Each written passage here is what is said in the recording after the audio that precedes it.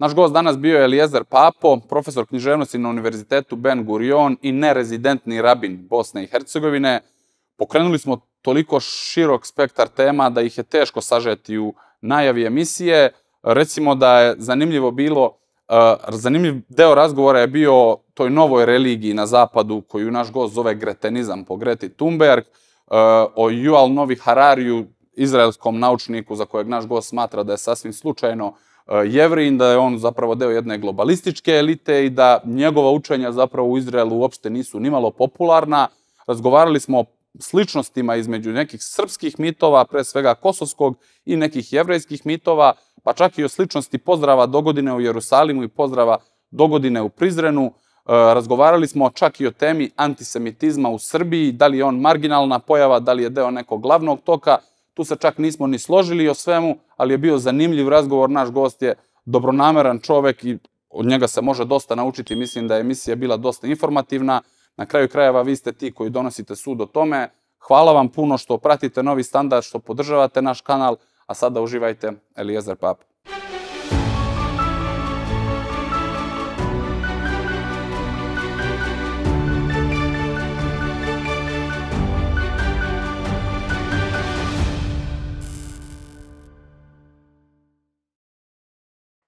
Poštovani gospodine Papo, dobar dan, hvala vam što ste po drugi put izdvojili vreme za našu emisiju u vašem zgusnutom rasporedu, jer vi ne živite u Beogradu kao što dobar deo naših gledalaca zna. Ako možemo da krenemo od pozdrava dogodine u Jerusalimu, koji su Srbi na neki način preuzeli od jevreja i u Srbiji postoji pozdrav dogodine u Prizrenu, čak se upotrebljava, nedavno smo gledali u Skupštini Srbije i kao da je sve više pozdrav koji se sve više prihvata u širokim narodnim masama, Kako je nastao taj pozdrav, koja je bila njegova funkcija i kako su se jevreji vratili u Jerusalim? U, hriš, u, pardon, u judaizmu to nije pozdrav. U judaizmu je to de facto e, rečenica kojom se završava najvažniji paraliturgijski jevrejski tekst. Znači, postoje liturgijski tekstovi, to su tekstovi koji se izvode u sinagogi. Postoje paraliturgijski tekstovi, to su tekstovi koji se izvode u kući. Znači, nije, ovaj, da kažemo, laički tekst najbitniji od svih e, paraliturgijskih tekstova, a može se čak reći da je bitniji od mnogih liturgijskih tekstova, je Pashalna Hagada. Zašto? Zato što je priča o izlasku iz Egipta zapravo e, temeljni mit jevreskog postojanja. I svake godine na praznik Pesah, na praznik beskvasnih hljebova, uveče s početkom praznika, čita se u, unutar e, porodice, čita se Pashalna Hagada. Ona se čita na kombinaciji aramejskog i hebrejskog, tamo gdje ljudi ne znaju dovoljno hebrejski, ona se prevodi. Jevreji u Bosni, u Srbiji su prevodili na ladino ili na jevrejsko-španski. Danas se većinom na ovim prostorima prevodi na srpski, jer ljudi već više ne znaju e, ni ladino, ali u svakom slučaju to je osnovni tekst. I prvi put kad jevrejsko dijete izgovara mi, jer djeca uopće ne govore u množini s velikim mi, to je više onako za muškarce i više onako za odrasle muškarce.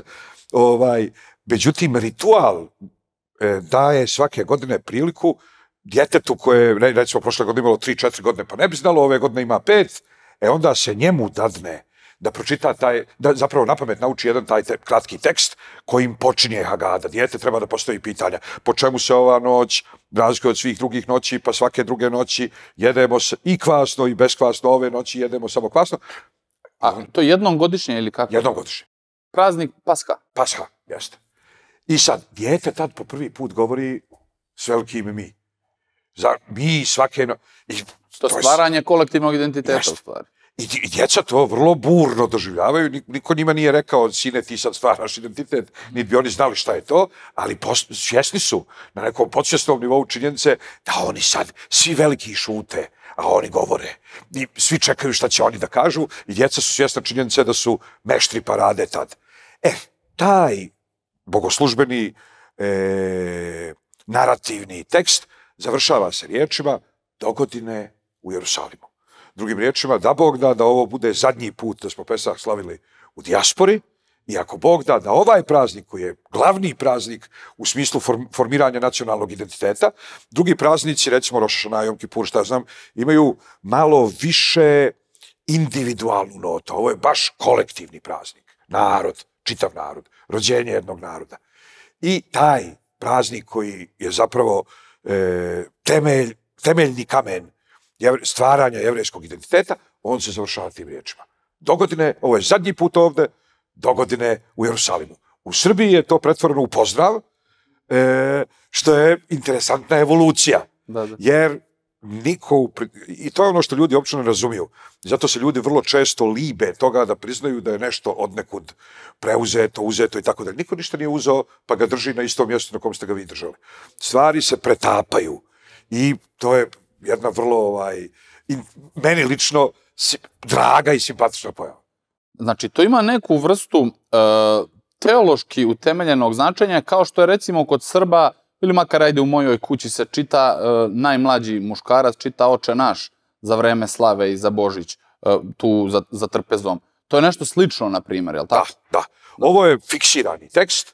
Svi jevreji na svijetu u isto vrijeme, mislim u isto vrijeme, znači neposredno nakon akšama, nakon zalaska sunca, čitaju isti tekst. Prevode ga na razne jezike ako ne razumiju hebrejski tekst, ali svi čitaju isti tekst. I kod sviju, u svakoj kući. Znači nema veze da li se radi o Damasku ili se radi o Parizu. Da li se radi o Kazablanci ili se radi o Njujorku, u svakoj kući se taj obred završava riječima dogodine u Jerusalimu. Šta je funkcija mita u jednom društvu i koji su tvorački mitovi jevrejske, ajde da kažemo nacije, iako jevreji nisu klasična nacija, nego su i reli, religijska grupa, e, koja je uopšte funkcija mita i postoji li neka sličnost između kosovskog mita ili zaveta i nekih jevrejskih mitova? Prvo i osnovno mit je, mit je ljepilo kojim, kojim se dva čovjeka zalijepe jedan za drugog, a posebno u slučaju kao što je uh, E, ideološko, e, ideološka grupa, jer to je, postoji znači koncept nacije kao političke grupe, postoji koncept nacije kao etničke grupe. Judaizam nije ni jedno ni drugo. Judaizam je najbliži onome što su ovde ljudi čuli kao islamsku definiciju ummeta, a zapravo je ista riječ na hebrejskom, umma. Umma je, znači, grupa ljudi koja dijeli zajedničko uvjerenje, zajednički pogled na svijet, zajednički vjerozakon. Ne zajednički zakon i ne samo zajedničku vjeru, nego zajednički vjerozakon. E sad, Kao, na primjer, šerijat. Tora i šerijat, to, Tora, Jer to u hrišćanstvu nema uopšte kao Tora i šerijat, je li tako? Nema. Postoji kanonsko pravo, u katoličkoj crkvi to je nešto drugo, postoji zakonopravilo, ali to je nešto, opet nešto Ali drugo. opet nije na državnom nivou nigde funkcionisalo. Ako se ne varam, čak ni u Vizantiji nije hrišćansko, hrišćansko pravo funkcionisalo u smislu državnog prava. Po, e, postoje stvari u kojima su, e, znači, ajde ovako, biblijska religija e, iz koje je redukcijom nastao judaizam, jer ne- neke stvari ukinute tipa hram, hramsko bogosluženje, šta ja znam, je, i to niko živ ne može da spori, e, majka i hrišćanstva i islama. Postoje stvari koje je jedna čerka naslijedila, a druga nije, i postoje stvari koje je druga čerka naslijedila, a prva nije. Ono što je e, neka poveznica između hriš, judaizma i islama, to je vjerozakon.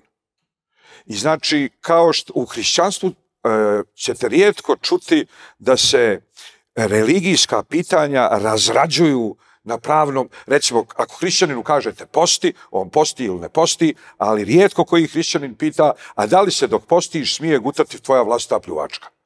Međutim, i u islamu, i u judaizmu je to pitanje sasvim legitimno pitanje. Jer rekao ti je posti, posti znači nemoj da jedeš, nemoj da piješ. Eh, da li ovo predstavlja prekršaj? Drugim riječima, e, šarija znači put kojim se ide. Tora znači učenje. Ja uopšte nisam siguran da obje riječi nisu istog semitskog porijekla. I da je pote pare šarijat zapravo arapska varijanta riječi Tora, iako oni kažu Taurat, ali ja mislim da šarija želi da kaže isto to. Drugim riječima, te dvije religije su vjerozakoni. Hrišćanstvo nije, hrišćanstvo je vjera. Izvinite, potpuno sam vas oterao od primarnog pitanja ovom digresijom. Dakle, funkcija mita u društvu i postoje li sličnosti između nekih jevrejskih i tog najjačeg, rekao bih, srpskog mita, kosovskog? Znači, racionalne veze mogu da vladaju u manjim grupama ljudi. Ja mogu da imam racionalan odnos sa svojim bankarskim činovnikom. Mogu da imam racionalni odnos sa ljudima koji stanuju u mojoj zgradi. Pa se nalazimo na sjednicama e, kućnog savjeta da dogovorimo da li ćemo da promijenimo oluk i dogovaramo se isključivo na tom nekom nivou 2 i 2 su 4, 4 i 4 su 8, bolje je bakar nego lim, lim je jeftiniji i tako dalje. To su racionalne veze. Na racionalne veze je preselite sutra u drugu zgradu, niko ne pati od nostalgije, ne sječe vene za prethodnim kućnim savjetom, to je racio. Ummet ili e, vjerozakonska grupa, ili vjerska grupa, ili etnokonfesionalna grupa, ne počivaju naravno na takvim racionalnim vezama. E sad, ono što dvoje, četvoro ili deset hiljada ili petsto hiljada ljudi može da zalijepi jedne za druge, nije racionalno. To pripada polju imaginacije. I, znači, mit je priča koja objedinjuje sve pripadnike određene grupe, daje smisao tom pripadništvu i daje smisao svijetu i životu. Znači, ne postoji mit o tome e, kako su nastale lotos maravice, jer nikog živog ne zanima. Nije dovoljno bitno. Mit je, ajde, izvorno rečeno, pokušaj da se objasni. Mit je drevna nauka. Pokušaj da se objasne, vidite da postoji svjetlo, znači postoji Bog svjetla koji njime upravlja. Vidite da postoje dva svjetila, jedno je veće, jedno je manje, to znači da je Bog mraka udario Boga svjetla šakom u jedno oko i to mu je oko slabije i to se oko zove mjesec. To je recimo kako nastaju mitovi. Međutim, to su mitovi o počecima. I mitovi su, mitovi se uvijek i bave kako je nastao svijet, kako je nastala zemlja, kako je nastao određeni narod, kako je nastao određeni grad, kako je ova planina došla na ovo mjesto. Ali ne bave se sitnim stvarima. E sad, mit je znači ukratko velika priča koja objašnjava nešto veliko i bitno na svijetu. E, e sad, postoje mitovi manjih grupa i postoje mitovi većih grupa. E, jevrejski mitovi bitni su, recimo, izlazak iz Egipta. Kompletan jevrejski narativ pada u vodu onog momenta kad ljudi to više ne doživljavaju kao zajedničko istorijsko iskustvo. Da li je da li su postojali Adam i Eva ili su Adam i Eva metafora? To nikome u judaizmu nije pretjerano bitno. Da li je Avram sanjao da prinosi Isaka na žrtvu? Ili je stvarno prinio Isaka na žrtvu? Bio spreman da prinese Isaka na žrtvu? To nije bitno. U, u oba slučaja bitno je naravno učenije. Ali da li je Mojsije istorijska figura ili nije? To je bitno. Izlazak iz Egipta, davanje Tore, formiranje nacije u četr, tokom 40-godišnjeg lutanja kroz pustinju, to je fundativni jevrejski mit. E sad, mitovi kao takvi daju znači smisao postojanju grupe. Grupe koje izgube mit, vrlo brzo i nestanu. Imaju li svi istorijski narodi mit? Ili e, većina bar? Današnja naša terminologija ne može nužno da, ne može nužno da, da, da, da poklopi sve e, entitete koji su postojali u drevna vremena. Ali grup, civili, neki su mitovi civilizacijski, neki su mitovi e, kulturološki, imaju mitovi koji su opšte evropski, imaju mitovi koji su opšte slovenski, imaju mitovi koji su opšte hrišćanski, imaju mitovi koji su opšte pravoslavni, imaju mitovi koji su u, u, u sklopu toga... Etnonacionalni. Etnonacionalni, jeste. E sad recimo, kosovski, kosovski mit, e, ja ovo sad govorim kao antropolog, ne govorim o politici, ne govorim o geopolitici. Kosovo trenutno za Srbiju je mnogo bitnije s polja nego unutra. U kom smislu? Znači, kad je, dok je Kosovo bilo u sklopu Srbije, Srbe je bolilo uvo za Kosovo. To je rečenica, izvinite, e, pokojni glavni urednik, bivši glavni urednik Novog standarda je rekao Kosovo nije naš problem, Kosovo je naš resurs. U smislu duhovni, kulturni resurs, dok se boriš za njega, homogenizuje ti naciju. To je upravo to što vi pričate. Ako ti je Kosovo u zemlji, onda nekako ti nema isti značaj kao kad moraš da se boriš za njega. Ono, znači, ovaj, razni projekti, razni programi, razne grupe, razne etnokonfesionalne grupe mogu da izduvaju. Završe sve što su bili zamislili I gotovo, sad smo godišnjem odmor. Dugo, više decenijski godišnji odmor dovodi do atrofije. E sad, Nek, nisam ja od onih koji kažu ne treba Mesija nikada dođe, bolje je da se uvijek nadamo Mesiji i kad bi Mesija došao to bi bilo grozno jer bolja je... Na... Nisam, nisam iz te priče, ali u ovom konkretnom slučaju je više nego očigledno da kad su Srbi mislili da su zadovoljili ovaj ciljeve svog temeljnog mita, e, upali su u neku e, u neki narativ koji ih je razgradio i iznutra, i iz polja, i sa svake strane. Ja puno putujem. Danas... Izvinite, ovo... ste mislili na jugoslovenski narativ ili, pošto kad smo oslobodili Kosovo 1912. vrlo brzo 18. formirana Jugoslavija, to nas identitetski razgradilo, jeste na to mislili? Ne nužno. Jugoslovenski, ne, nisam nužno na to mislio, premda je, premda je i to jedan vid utapanja u nečeg, u nešto veće. Ali kraljevina Jugoslavija je počivala na kosovskom mitu. Da, to je Kraljevina Jugoslavija je počivala na kosovskom mitu i on je uzidan u temelje Jugoslavije. Tako da iz perspektive kosovskog mita to nije razgradnja. Iz perspektive srpskog nacionalnog identiteta to je priča, postoje, postoje interesi Srba u Srbiji interesa Srba, interesi Srba izvan Srbije. To dva vrlo često oprečna interesa i možda Srbima u Srbiji Jugoslavija nije, ne znam ti kako, iskustvo, pozitivno iskustvo, ali Srbima izvan Srbije definitivno jeste bila nasušna potreba. Dakle, to, to je potpuno druga priča. E sad, vraćam se na ovo pitanje razgradnje. Jednostavno, duhovna atrofija, duhovna malaksalost, duhovna atrofija. E sad, počeo sam tu neku misao, pa da je dotiram do kraja, putujem i gdje, gdje god se čovjek kreće zapadom, u većini slučajeva, ne lezite na jednu močvaru, letargiju. Ljudi su apsolutno... E, zauzeti onim što se u Bosni zove pojest, popiti, poklopiti. I sve se vrti isključivo oko pojest, popiti, poklopiti. Nema nikakve treće dimenzije, a kamoli četvrte, a kamoli pete. I ne, ne, postoje nikak, ne, postoje, ne postoji nikakav idealizam. Da Bog da nikad niko ne umro zbog onog u šta vjeruje.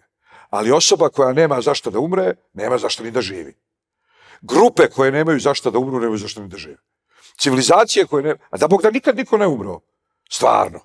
Ali je bitno da imaš nešto za što si spreman da se žrtvuješ. Jer onog momenta kad čovjek samog, mi zato i težimo toliko toj stvaranju te artificijalne inteligencije, iz prostog razloga što smo mi artificijalni. Iz religijske perspektive mi smo artificijalna inteligencija. Znači, krava je krava i programirana je da bude krava i nema izbora. Pčela je pčela, vuk je vuk. E, nema vukova koji žele da budu pčele. Nema pčela koje plaču što nisu krave. E sad, čovjek, možda bude krava, možda bude pčela, možda bude čovjek, minimum mu je, u, u stvari, čovjek je znači obdaren, on je variabila, kao i krava i pčela, ali obdarena sposobnošću da kontemplira konstantu. I onda ga strašno frustrira ta činjenica da on spada u variabilu. List, danas jesi, sutra nisi. E sad, po te pare mi smo onda artificijalna inteligencija. Bog je stvorio razna stvorenja koja funkcionišu po softveru, a jednom stvorenju je dao o, mogućnost da kao, kao aktivna inteligencija uči i na osnovu stečenih znanja reaguje na. I zato, zato, zato mi želimo da stvorimo artificijalnu inteligenciju. Znači, iz perspektive Boga čovjek je veštačka inteligencija. To je zanimljiva misao. Jeste to hteli da kažete? Da, naravno. Da iz Božje perspektive mi smo vještački. Kao možemo da učimo sami sebe, da. Jeste, i, i, i ovaj, nije, nam, nije nam unaprijed, krav je unaprijed napisan scenario. I kogod ostavi otvorna vrata na štali, zna da nema tu mnogo pameti. Krava, gdje, šta, koji god zijan krava može da napravi, ona će napraviti. Ti si zadužen da je spriječiš, a ne možeš se ljutiti na kravu. Ne možeš kravi reći, koliko smo puta o ovome razgovarali i ti si mi obećala da više nikad nećeš. To su kategorije koje ne postoje. A mi smo ti kod kojih postoji i moral, i strah, i nada, i ne znam šta, mi artificijalna inteligencija. Ajde da se još malo onda vratimo na drevnu jevrejsku istoriju, pa ćemo preći na priču o savremenoj državi Izraeli, i e, dešavanjima i fenomenima u njoj. E, možete li ukratko da nam opišete e, neku vrstu nacionalnog narativa, o istorijskog nacionalnog narativa o stvaranju jevreja, jevrejske nacije. Jer mi to sve imamo u starom zavetu, Međutim, jako arhaičan taj prevod Vuka Karadžića i Đure Daničića i onda dosta ljudi nije pažljivo pročitalo stari zavet za razliku od novog. Pa jel možete samo ukratko to da nam opišete? Može. Da ne ulazimo previše u detalje, da. Može. E, prvo je osnovno, znači ljudi ovaj, ne shvataju recimo da je hebrejski jezik proto-ladino ili proto-jidiš. To je prvi jezik koji su jevreji preuzeli od nejevrejske sredine. Drugim riječima, jevrejska priča počinje sa jednim izbjeglicom. U to vrijeme on bi se zvao sirijski izbjeglica, zato što on ide iz grada Urfe u današnjoj Turskoj, znači to je nekadašnji Ur Kazdim ili Ur Haldejski, u današnjoj Turskoj. Ali ono vremeno to je pripadalo Siriji i on ide u svetu zemlju. On govori aramejski jezik. Mi kasnije vidimo da kad njegov unuk, Jakov, se vraća u ovaj, pada na aramski, on sa porodicom svog dede govori s njima aramejski. Gdje je onda naučio hebrejski? Hebrejski naučio u Izraelu. Ta, hebrejski jezik savremeni, kao i hebrejski jezik Biblije, to je jezik Kenanaca. Stanovništvo koje je stanovalo na području Kenana. E sad, Avram, Isak, Jakov, za vrijeme Jakova, njegovih 12 sinova, obratite pažnju, 12 sinova, 12 apostola, 12 šiitskih imama, 12 zvjezdica u e, zastavi Evropske unije, 12 je kad pokušavate da stvorite nebesku kategoriju na zemlji. Pošto je nebo organizovano u 12 zodija, znakova zodijaka, ili 12, da, 12 znakova zodijaka, kad je obećano još Avramovom dedi ili pradedi da će njegovo potomstvo biti da će njegovo potomstvo biti kao zvijezda nebeskih, niko nije pomislio da će on da napravi milion djece, niko nije bio saudijski kralj. Ovaj, nego šta? Iste sekunde je shvatio da će onda napraviti 12 torcu koji će da budu rodonačelnici, jer je nebo organizovano u 12, znači na zemlji treba da se organizuje entitet koji će da bude u 12. Jevrejs kao narod stasali u egipatskom ropstvu, jer je od tih 12 Jakovljevih sinova sa ženama i djecom, njih je bilo 70 duša kad su sišli u Egipat. I u ropstvu su nastali kao narod, e, 210 godina je trajalo ropstvo i iz ropstva oni izlaze 600.000 muškaraca ratnika, znači muškaraca starijih od 13 godina. Ako dodamo tome vjerovatno još 600.000 žena i ako dodamo tome još mušku djecu mlađu od 13 godina, znači skoro milioni po ljudi. Sa, sa 70. Sa, prema biblijskom narativu. Da, da. Izla, izašavši iz Egipta, i to je sad opet jedna interesantna i bitna stvar, ljudi vrlo često u ime religije e, zastupaju fundamentalistička stanovišta, platonistička, idealistička, apsolutistička i zaokružena. Po te pare bi onda trebalo da Biblija ističe to 40-godišnje lutanje kroz pustinju kao top topova, da se izrazim savremenim slengom, ili vrh vrhova. Zašto? Narod krstoobrazno, kako to vole da kažu u pravoslavlju, jel, znači ide e, skinija ili šator od sastanka, s desne strane ovaj, tri plemena, s lijeve strane tri plemena, ispred nje tri plemena, iza nje tri plemena. I narod tako ide kroz pustinju, hrana im pada s neba. Čekajte, u obliku krsta. Rekli ste krstoobrazno. Krstoobrazno, zato niko nije tad mislio na krst, nego retroaktivno to danas hrišćani doživljavaju kao krstoobrazni hod kroz pustinju. Ali u svakom slučaju, ono što je bitno, je da 40 godina narod luta kroz pustinju, ne, narod hoda kroz pustinju i pada mu hrana s neba. I vi biste sad iz te jedne retrogradne, nazadne, natražnjačke, što bi se reklo u Hrvatskoj, religijske politike, ovaj, religijske perspektive, došlo do toga da bi se Biblija to trebala da kuje u zvijezde. To je vrijeme kad niko nije, niko nije imao priliku da griješi. Međutim, u, u, u Bibliji piše 40 godina se ljućah na onu generaciju na ono pokoljenje. To znači e, da Bog preferira više nego očiglednu situaciju u kojoj oni dolaze u zemlju obećanja i stavljaju u pogon svoj, svoj, svoju mogućnost izbora slobodne volje, makar birali pogrešno. Jer u pustinji ne mogu ni da biraju. Ne, nema šta. E sad, e, nakon toga, znači osvajanje zemlje Kenanske, uspostava e, plemenske skupštine i jednog plemenskog društva, koje sad razdire pitanje da li da, da li da pređu na monarhizam ili da nastave ili da nastave sa ustavnim plemenizmom, da to tako nazovemo. Tora kao ustav i 12 plemena. I jedna i druga stvar su imala svoje premućstva. Problem je bio u tome što okolne zemlje su već imale monarhe i kao takve imale su stajaću vojsku, policiju i imale su kontinuitet. A jevrejska država je bila zapravo slabiji savez plemena, kao Crna Gora prije Svetog Petra Cetinskog. Slabiji savez plemena u kome je od figure tipa Sveti Petar Cetinski zavisilo koliko su ta plemena objedinjena ili razjedinjena. I onda kad umre Sveti Petar Cetinski dežurni, onda su plemena 20, 30, 40 godina raz, zavađena ili nisu objedinjena i to je da man dovoljna prilika da, da ih podjarme okolni narod. Možda slično kao Afganistan? Da, da.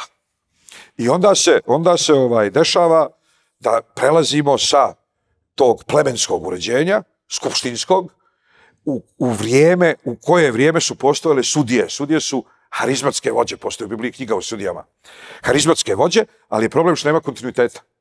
Prelazimo na carstvo, Izraelovo, tri cara vladaju jedinstvenim carstvom, David, Solomon i Solomonov sin. U vrijeme Solomonovog sina to se carstvo raspada na dva, Izrael i Judeju. Izrael je znači sjeverno carstvo, Judeja je južno carstvo, Judeja je ono što je danas Hevron, Jerusalim i tako dalje, a Izrael je recimo ono što je sjeverna, sjeverni Izrael i tako dalje.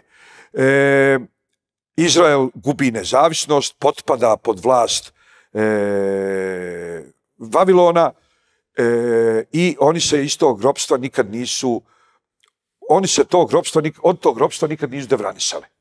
Znači, dio njih je ostao na teritoriji, dio je odveden u ropstvo, na njihovu teritoriju, slično Kosovu.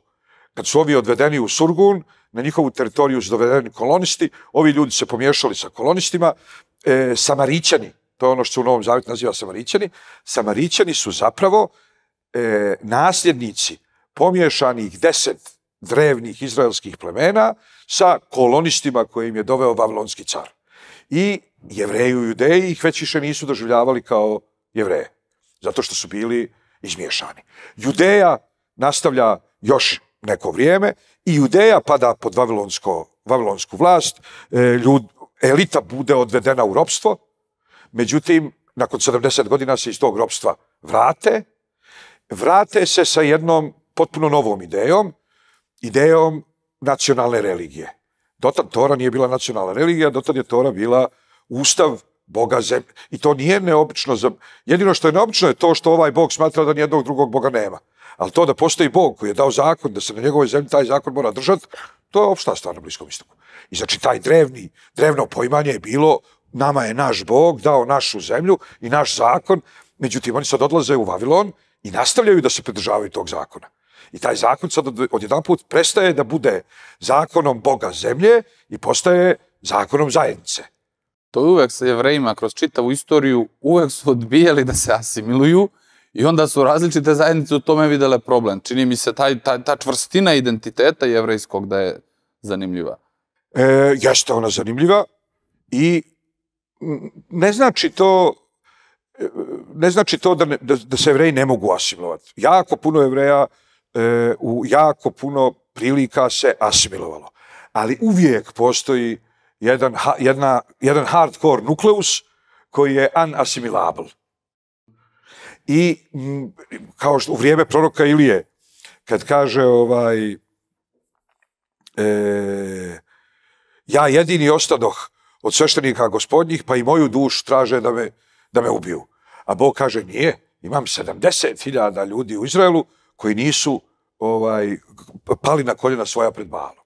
Znači od cijelog naroda ostalo, ali ima.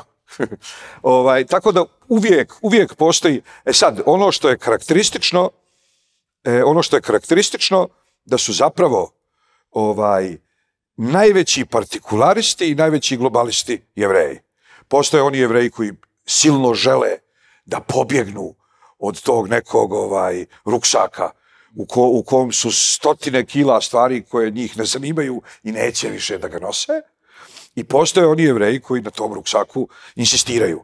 Ali, ovaj, imate, na koncu konca ja volim ovaj, uvijek da u tom kontekstu citiram one Hristove riječi. Teško vama mlaki, izbljuvat ću vas iz usta svojih. Nije rekao teško vama hladni.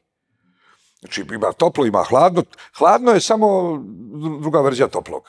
Da, da. Ok? E, a mlakost je ta koja je de facto dostojna izbljuvavanja. E, To je, jer to je kad si svestan, ali si nedovoljno spreman karakterno Jeste. da nešto nosiš. Da. Jeste. Ali, ali, I onda se boriš protiv toga. A kad si hladan, potpuno si nesvestan. To, je, to te Ne, malo kad si mlak, nije čak ni da si nesvjesno, nego sve jedno. Sve boli tu. Ne, ne, nego kad si mlak, svestan si, ali ti je sve jedno. I zato je to gore nego kad si hladan, jer Jeste. sad si potpuno nesvestan. Jeste. Jer bo, ovaj, bolje, je biti, bolje je biti neprijatelj e, nego biti indiferentan.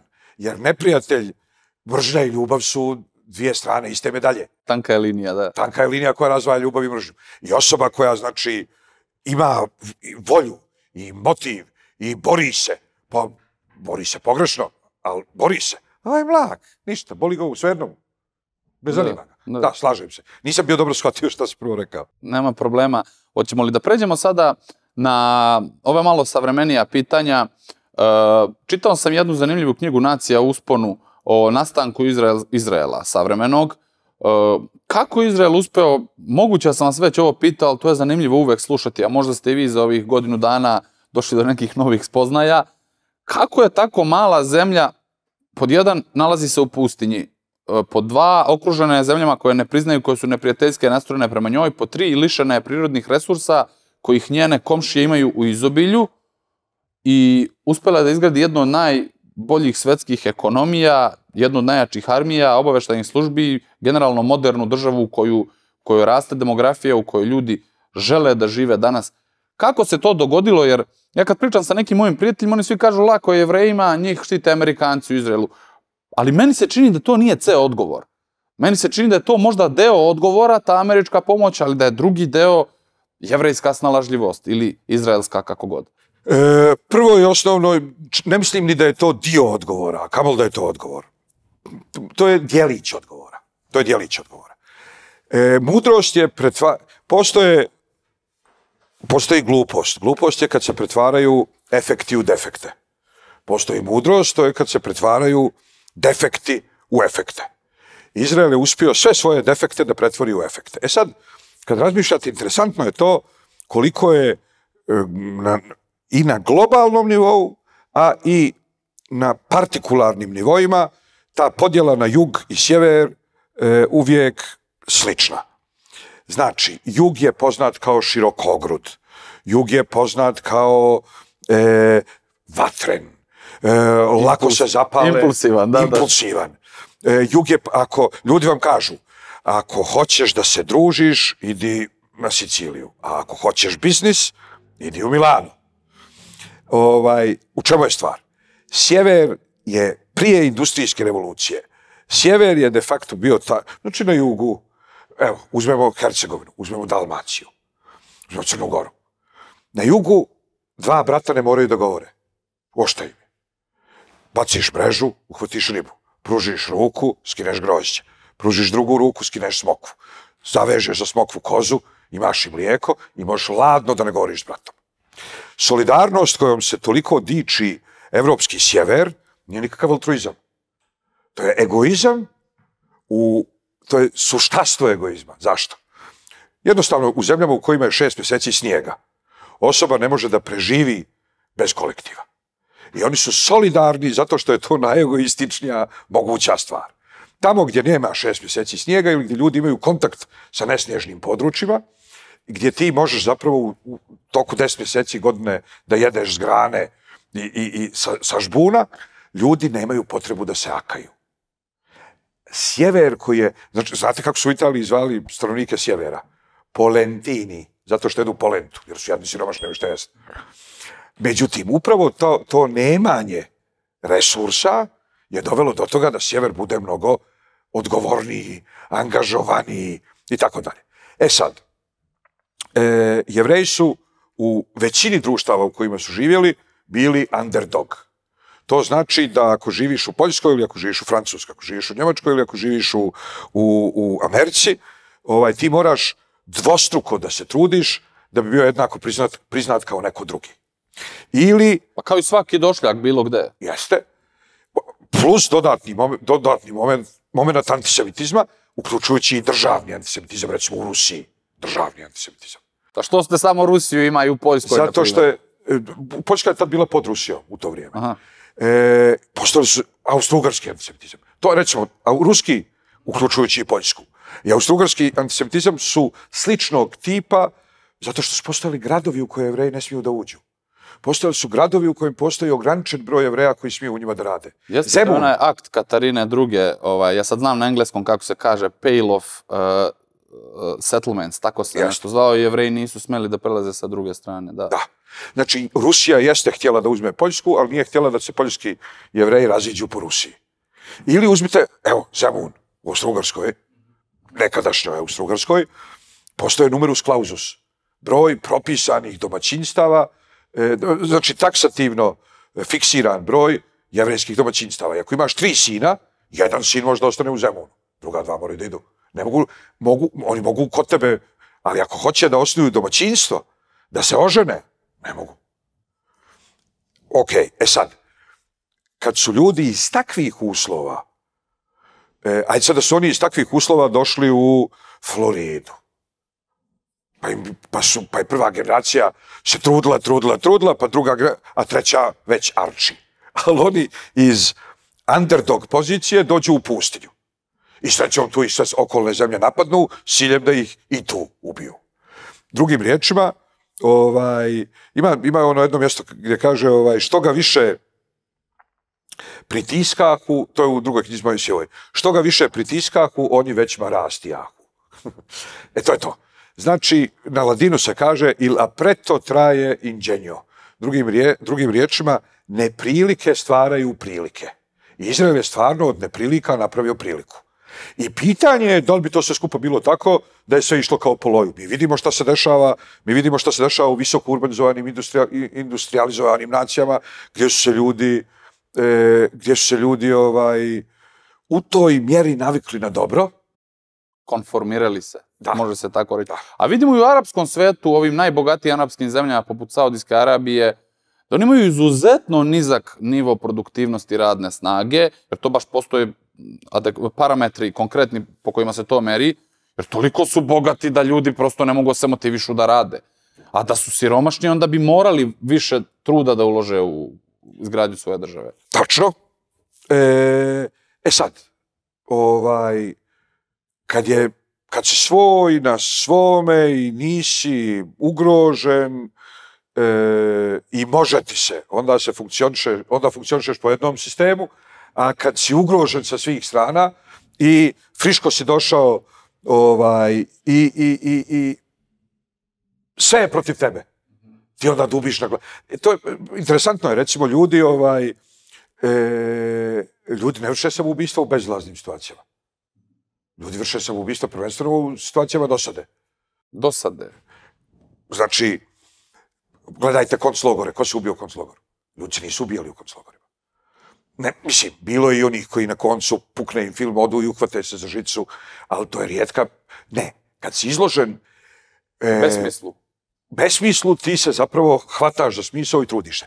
A s druge strane, toliko je, na koncu konca pogledajte, koliko je na istoku samoubistava, ko- gdje se ljepše živi? Na zapadu. E, Gdje se teže živi? Na istoku. Gdje je više samoubistava? Na zapadu.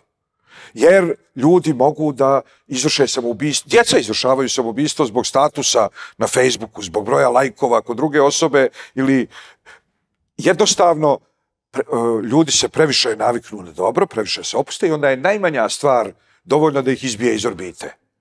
A ovo je sušta suprotnost. Što, je, što su gori uslovi, to je, to je veća želja e, i veća volja za odupiranje. E sad vraćam se na ono pitanje koje ste postavili, a nekako smo skrenuli s teme. E, pitali ste ovaj Kosovo i kosovski mit i upoređenje. Kažem, putovao sam puno i putujem još uvijek puno. I gdje god se dođe, ljudi su otupili duhovno, postali mlohavi duhovno, nezainteresovani, indiferentni. I onda dođeš u Srbiju ovaj, i onda ovdje razgovaraš s mladim svijetom i onda čuješ raznorazne iz, izlive idealizma, patriotizma i tako dalje, koji su apsolutno atipični za zapad. Prevelik je ovdje standard, previsok, makoliko bio nizak u poređenju s ne, nečim drugim, previsok je on za taj vid patriotizma i taj stepen e, identiteta i na, na sve to skup, sve, sve to, za, za sve to skupa možda se kaže samo hvala Kosovu. to je to. E, šta Srbi, ajde kad smo, kad ste se sada vi vratili spontano na ovu temu, šta Srbi mogu naučiti od jevreja u to svojoj borbi za Kosovo, jer su jevreji čekali koliko, 2000 godina ili 2000. 2000 godina se vrate u Jerusalim. Postoji li neka pouka tu, jer danas su jevreji u tom Jerusalimu, vi na kraju krajeva živite u tom gradu, slobodni ste, možete slobodno da se krećete tamo i taj Jerusalim je zvanično po izraelskom zakonu glavni grad države Izraela, ako se ne varam. Jeste. E, kako, postoji li neka istorijska mudrost, postoji li neki recept kako se čekati, postoji čak i pesma Hiljadu vidovdana, kao da se pomalo preuzima ovaj od jevreja u, tom, u, u strukturi srpske borbe za Kosovo, kako da se organizuje jedan narod da čeka ako treba i hiljadu godina da vrati nešto što misli mu pripada? E, odgovor je relativno jednostavan, zato što je ovaj recept jednostavan, on nije lak za primjenu. Imate jela koja su, nema tu tri sastojka i tri stvari treba napraviti, ali jako komplikovano. A ima jela 70 sastojaka i pet stvari treba napraviti, ali nije toliko komplikovano. Ovde je stvar jako komplikovana. Odgovor je jednostavan i glasi ovako. Koje su bile šanse I ja vrlo često navodim tu metaforu, ali sad se nametnula u ovom kontekstu. Koje su, znači, šta su to, na koji su način jevreji mogli da nametnu Egipćanima svoju viziju svijeta? Na koji su način jevreji mogli da nametnu e, Vaviloncima? Postoje imperije. I znači, jevreji su bili nešto kao Asterix. Cijeli svijet je mnogobožački svijet. U tom svijetu u jednom momentu vlada jedna imperija, poslije par sto godina druga imperija. Neko te izrabljuje, tjerate da gradiš piramide i ti sam sebi na svom manjinskom jeziku koji niko živ ne razumije kažeš ovo nije okej. I u međuvremenu prođu ovaj, recimo 2000 godina do nastanka hrišćanstva ili poslije 3, 2700 godina do nastanka islama, vi danas odete u Egipat i pitate ljude na ulici, bilo kopte, potom, potomke drevnih Egipćana, bilo Arape, ovaj, e, ko je u pravu, Mojsije ili Faraon? Mojsije. Odete u Vavilon, u Irak, pitate ljude ko je u pravu, Navukodonosor ili Daniel, Danilo. Šta Danilo? K- Kako je uopšte moguće jedna manjinska grupa koja nema na raspolaganju ni vojsku, ni policiju, sama sebe da zaštiti, a kamoli da nekog porobi i nekom nametne, dovede do toga da poslije 2000 godina, znači koliko puta vi morate sami sebi, kad vas niko ne sluša, da ponovite svoju vlastitu istinu, koja ne, po, nemate instrumenta uopšte da nametnete bilo kome drugom. Da bi to na koncu konca izašlo u eter i postalo opšte mjesto i opšta stvar. To se pripisuje inače Gebelsu, hiljadu puta ponovljena laž postoje istina, ali to on nije rekao, ovaj, faktografski nije, nikada nije to izgovorio. A ovdje čak ne govorimo o laži, Da, da. nego hiljadu puta, hiljadu puta ponovljena istina postaje identitet. Hiljadu puta Postaje, ponovljena... a, a milion puta postaje mit, može li se tako reći? Može, može, Da. može. I to je onda, to je onda ovaj, e, bitno je da opstanete, to je bitno, i ovaj, mnogi mogu da budu jači, ali ne mora da znači da će da opstanu, da pače. Tako je. Što su jači, to su manje šanse da ostanu na sceni kao toliko jaki dugo vrijeme. Bitno je da ostanete na sceni ovaj, dovoljno dugo da kad se smijene ovi i ovi i oni i oni, vi možete Pa evo, nema više ni Austrijske imperije koja nas je vekovima ugrožavala sa severa i Osmanlije su daleko, a nekako, nekako Srbi opstadoše tu gde jesu i te imperije, koliko god da su jake, silne i koliko god da se čine svemoćne, one prosto propadnu ako postoji narod koji zna da čeka. E, jevreji znaju da čekaju, ja se nadam da znaju i Srbi. E, Friedrich Nietzsche je rekao, e, što te ne ubio jačate. To je negde na tragu ovoga o čemu smo pričali do sada. Tačno. To se na hebrejskom kaže maše lov mehasel, mehašel. Razlika je samo u jednom slovu. Mhsl, mhšl. To je to. E, da li su Mossad i Šimbet i te e, izraelske službe ojačale zbog iskustva holokausta i tog traumatičnog iskustva? Da li je generalno to kod tih ljudi stvorilo jedan osjećaj posvećenosti, jedan osjećaj misije i smisla, da oni svoj posao obavljaju na način da kasnije nastane mit od tih službi, jeli, da kontrolišu sve, da su najjače na svetu. Koliko je to tačno, koliko nije, ali činjenica je da su se na dosta efikasan način obračunavali i sa potomcima nacista, i sa palestincima za koje su smatrali da ih ugrožavaju i tako dalje. E, kako se dogodilo da Izrael stvori toliko moćne obaveštene službe? Prvo i osnovno, znači, e, u sklopu holokausta postojali su na nivou svake jevrejske opštine Judenrat, jevrejsko vijeće. Njemci su ga zvali Judenrat. Gdje su jevreji sami srađivali na svom vlastitom istrbljenju. U dubokom, u tom nekom, ovaj, u nekoj letargiji dubokoj, u dubokom ubjeđenju da je, da je, da je, ne znam nija, da je red bolji od haosa. Onda su, dođe gestapovac, zahtjeva spiskove, ljudi mu predaju spiskove. Onda on, posp... on Juden rat zapravo transportuje, na kraju oni budu zadnji transportovani. Niko tu ništa nije zaradio time što je... E sad, dogod, jer to je kad dođe Ustaša u selo u Hercegovini, ovaj, ljudi misle, hajde, bit će odveden na prinudni rad, pa bili su odvođeni na prinudni rad i, u, i u, za vrijeme Prvog svjetskog rata u Austro-Ugrskoj, pa odšlo sto ljudi na, pri, na prinudni rad, vratilo se 80. Nisu ljudi bili u prvi mah svjesni činjenice u šta će to da se izrodi. I zato su ovih pokupe, oni sjednu na kamion. Više onih na kamion nego onih. Međutim, onog momenta kad ljudi budu suočeni sa apsolutnim istrbljenjem, o, nema, nema izbora, nema odstupnice.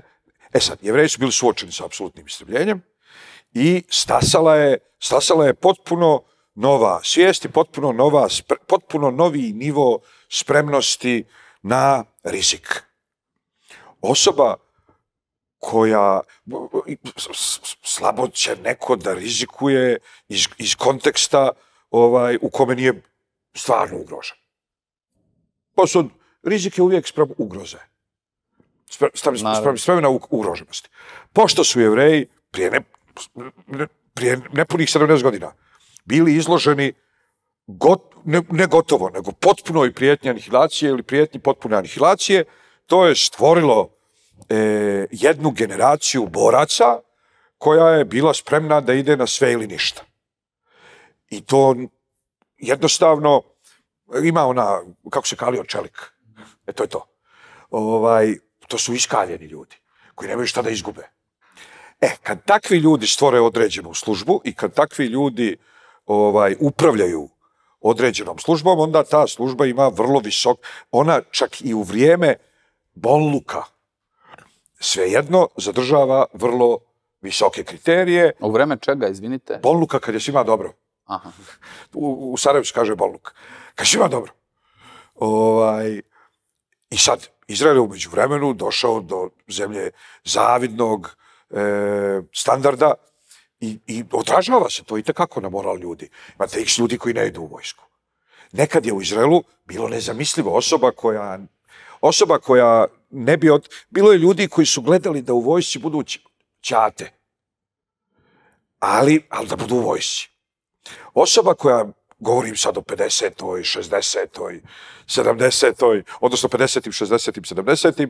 Osoba koja ne bi otišla u vojsku je de facto sama sebe desocijalizovala.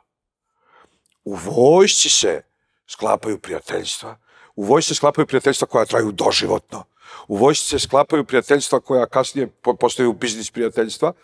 I u vojsci se na koncu stiče izraelski mentalitet, e, u, u vojsci se ovaj gubi identitet došljaka i dobija se identitet Izraelca, u vojsci se stapa, jer čak i ljudi koji su rođeni u Izraelu, e, roditelji su im došljaci. Tek u vojsci oni budu izloženi, e, to se zove na engleskom melting pot. Tek, tek u vojsci se zapravo u, vo, u vojsku ljudi mogu, govorim sad ponovo, 50. 60. 70. U vojsku vi uđete kao marokanski jevrejin u Izraelu, iz vojske izađete kao Izraelac. u vojsku uđete kao ruski jevrejin u Izraelu, iz vojske izađete kao Izraelac. To je nešto kao što on, funkcija školskog sistema bi trebalo to da bude. Između Sjećate ostalog. se kako su u edipalnim odnosima tipičnim za jugoslovenske, ovaj, jugoslovenska domaćinstva, očevi govorili sinovima u 15. 16. godini kad ih treba pubertet. A otac kaže, vojska će od tebe napraviti čovjeka. Kao ja dižem ruke, ja ne mogu, ali vojska će od tebe napraviti čovjeka. I ta, tako je u Izraelu. Vojska će od tebe napraviti čovjeka. E sad, umeđu vremenu je došlo... A u Izraelu je i ženu. u Izraelu, Da, da, da, tamo i da. žene služe vojsku. Da, da. I žene su ljudi. Čovjek, Da, da, u da, čovjeka u smislu ne muškarca, Muš, nego ali, ali obično se kaže vojska će od tebe napraviti muškarca. Obično se tako kaže. Makar u Srbiji, ne znam sad kako je u Izraelu. E, ima raznih. Ima recimo u Bosni se kaže ko nije za, to je iz austro-ugarskog vremena. Poslovca ko nije za cara, nije ni za cure. Drugim riječima, ako ne služi vojsku, e, nije ni za ženbu. Ovaj, bilo kako bilo, u vojsku se gledalo ko uboga. Vojska je bila ta koja je izjednačavala, e, znači to je pod jedan, u vojsku uđeš kao pripadnik svoje zajednice, a izađeš kao Izraelac, to je A. B. Vojska je pružala istu priliku sinovima profesora univerziteta i sinovima ljudi e, nepismenih. Jer vojska prati ko je, koliko je inteligentan i šalje ga na kurseve. I ljudi su u sklopu vojnog roka završavali raznorazne kurseve, tako da je vojska istovremeno i bila i socijalni e, ujednačavatelj, ako postoji takva riječ.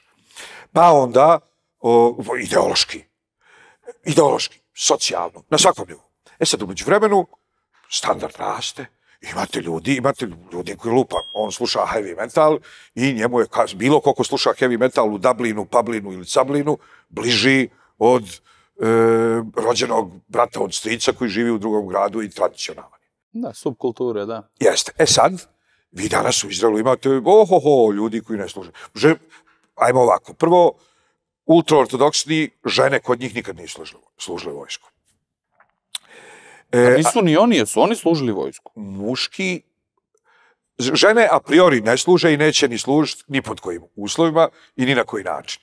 Muški, neki kako? služe, neki, šta? Kako da služe kad desetoro dece rađaju, nema smisla. Pa dobro, ne rode ih do 18. Dobro i to. Ali one se i udaju u 17. 18. i de- 20. to je već gdje je problem. Baba je- devojka, što Baba, kažu. baba, da, da, da, baba djevojka. O, 30 je baba baba, nije više ni baba. Ne smemo, kritikovat će nas feministkinje, nemojte, ne, nećemo. Evo, predaj. Iseći ćemo u montaži. Šalim se, nastavite. Ovaj, u svakom slučaju, u svakom slučaju danas ima čitav niz ljudi koji ne služe vojsku. E, e sad, recimo, i to je interesantno i ljudi ovdje to uopšte ne znaju. Imate beduine koji služe vojsku. Ali imaju dvije vrste beduina u Izraelu. Beduini u Negevu, to nisu vrste, nego dve, dvije, dvije oblasti. Ima, ima Negev i u Negevu beduini služe vojsku. Imaju sve beneficije izraelskog e, e, vojnika nakon što, za, što je, jel, ništa to nije revolucionarno. Imate druze koji su arapski govoreći vjerska zajednica za sebe, koja ne da reći da su porijeklom, da su nastali istorijski iz islama, oni su vrlo odani Izraelu, služe vojsku i tako dalje. Onda imate arapsko stanovništvo gradsko, e, oni ne služe. Onda imate arapske hrišćane od kojih neki služe.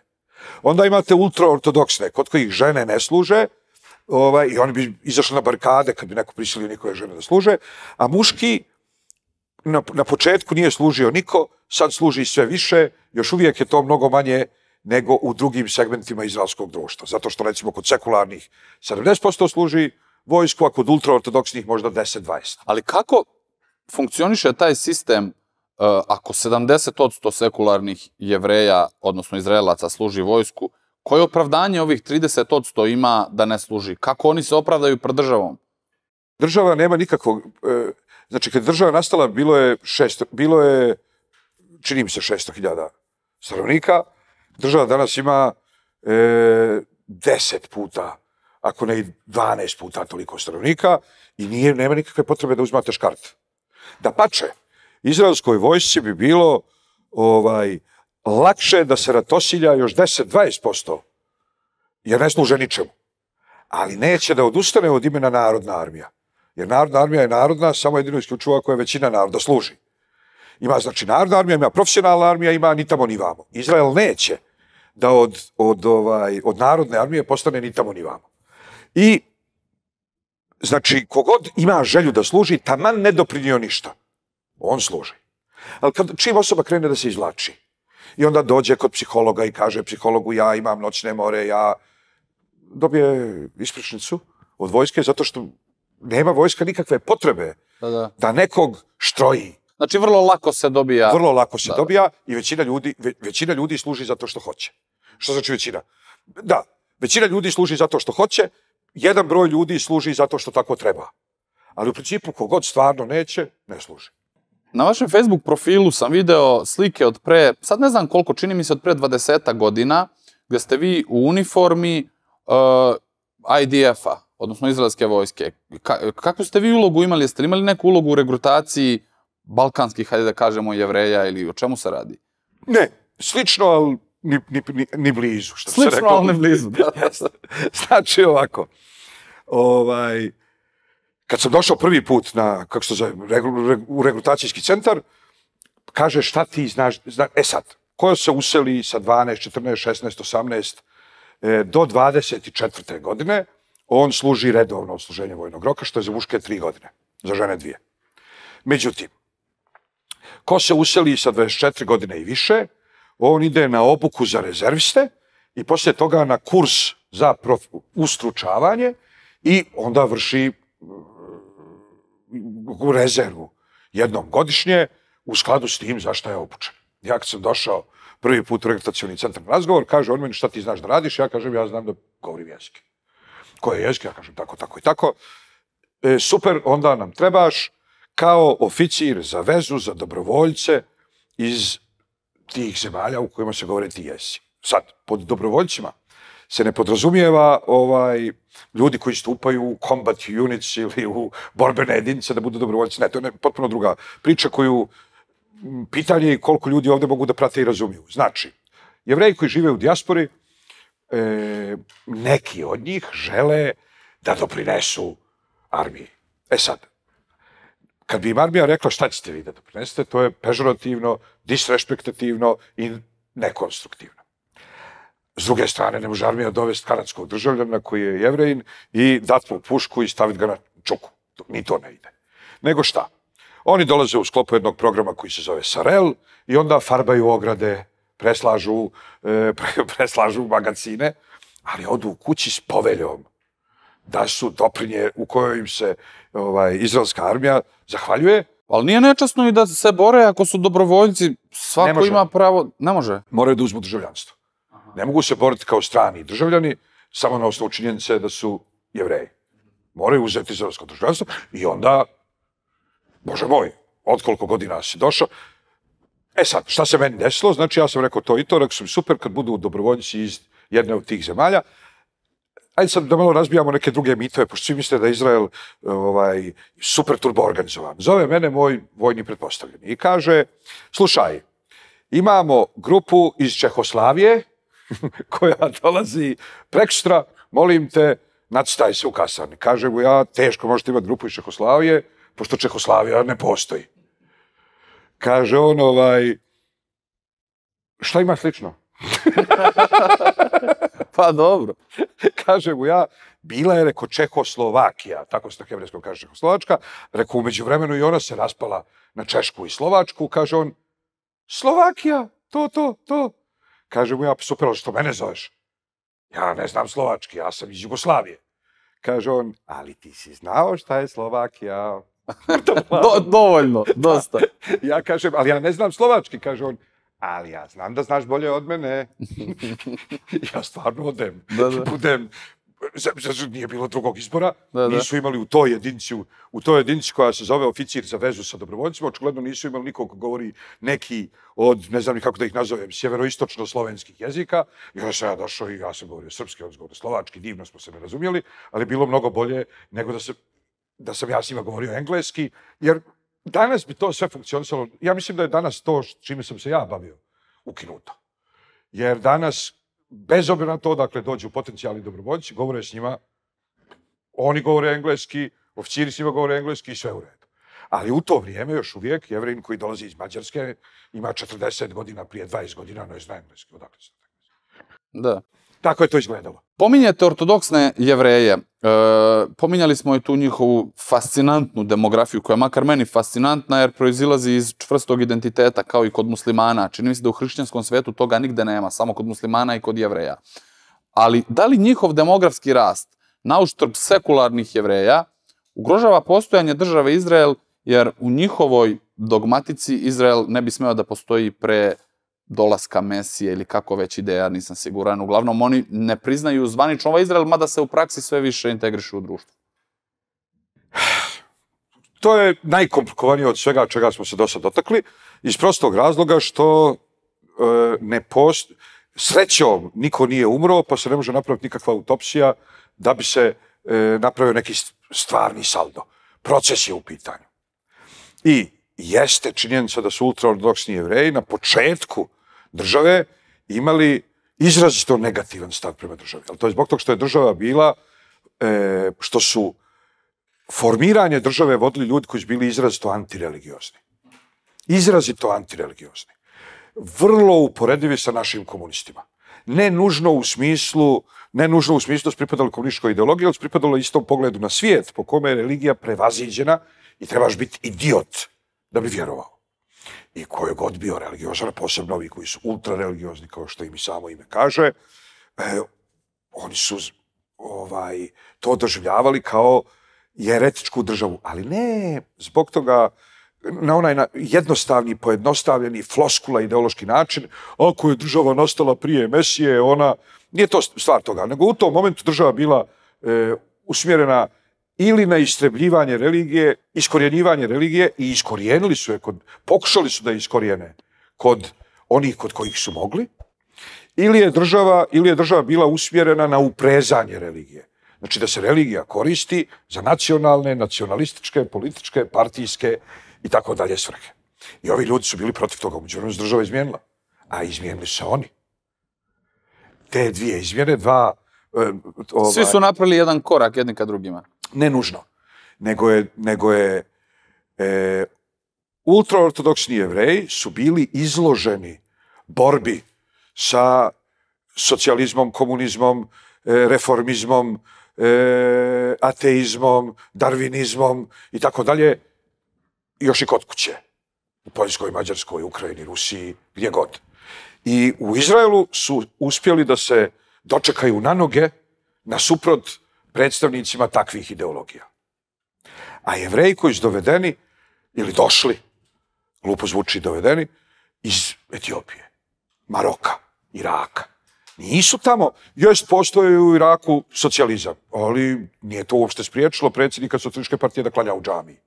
Jaz nije bio toliki i nije se radilo o revolucionarnom, borbenom ateizmu, o jednom pogledu na svijet koji i tako dalje. I onda u 48. i kasnije za vrijeme velikih useljavanja orientalnih jevreja, Izrael je zapravo iskoristio, ne, ne kažem, glupo je reći Izrael, tadašnja izraelska vlada je iskoristila neopasuljenost tih ljudi da ih ovaj ubace u dva šablona koja su u Izraelu već postojala. A to je, kad im je neko onako izgledao malo rabinski, njega i njegovu porodicu gurni kao ultraortodoksni.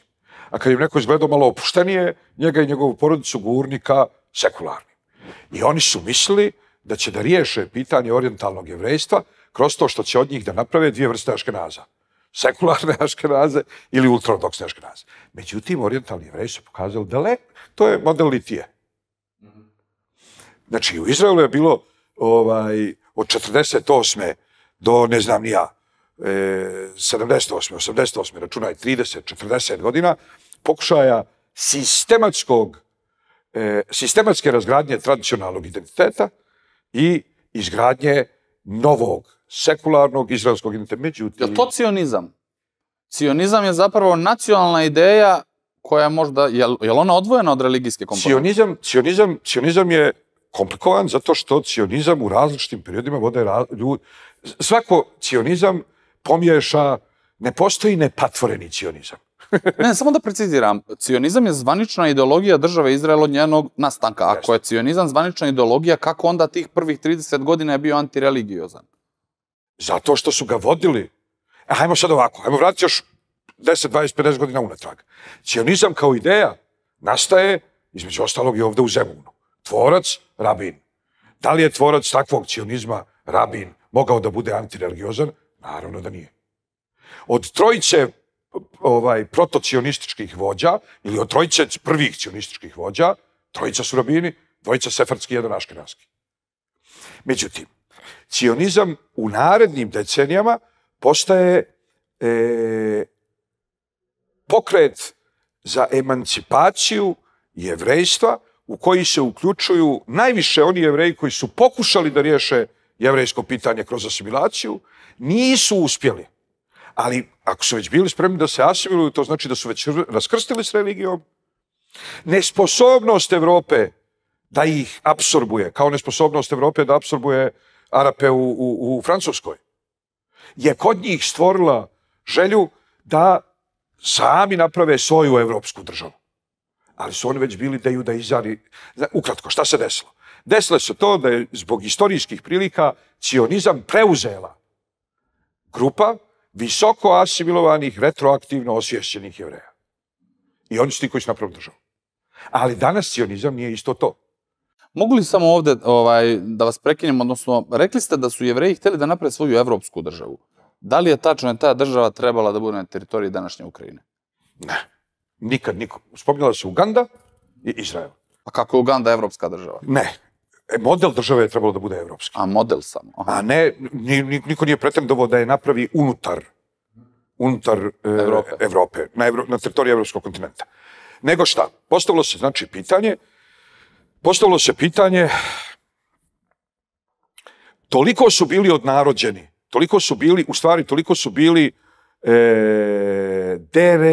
dereligiozisani. Da, razumemo se, razumemo se. Razumemo da. se.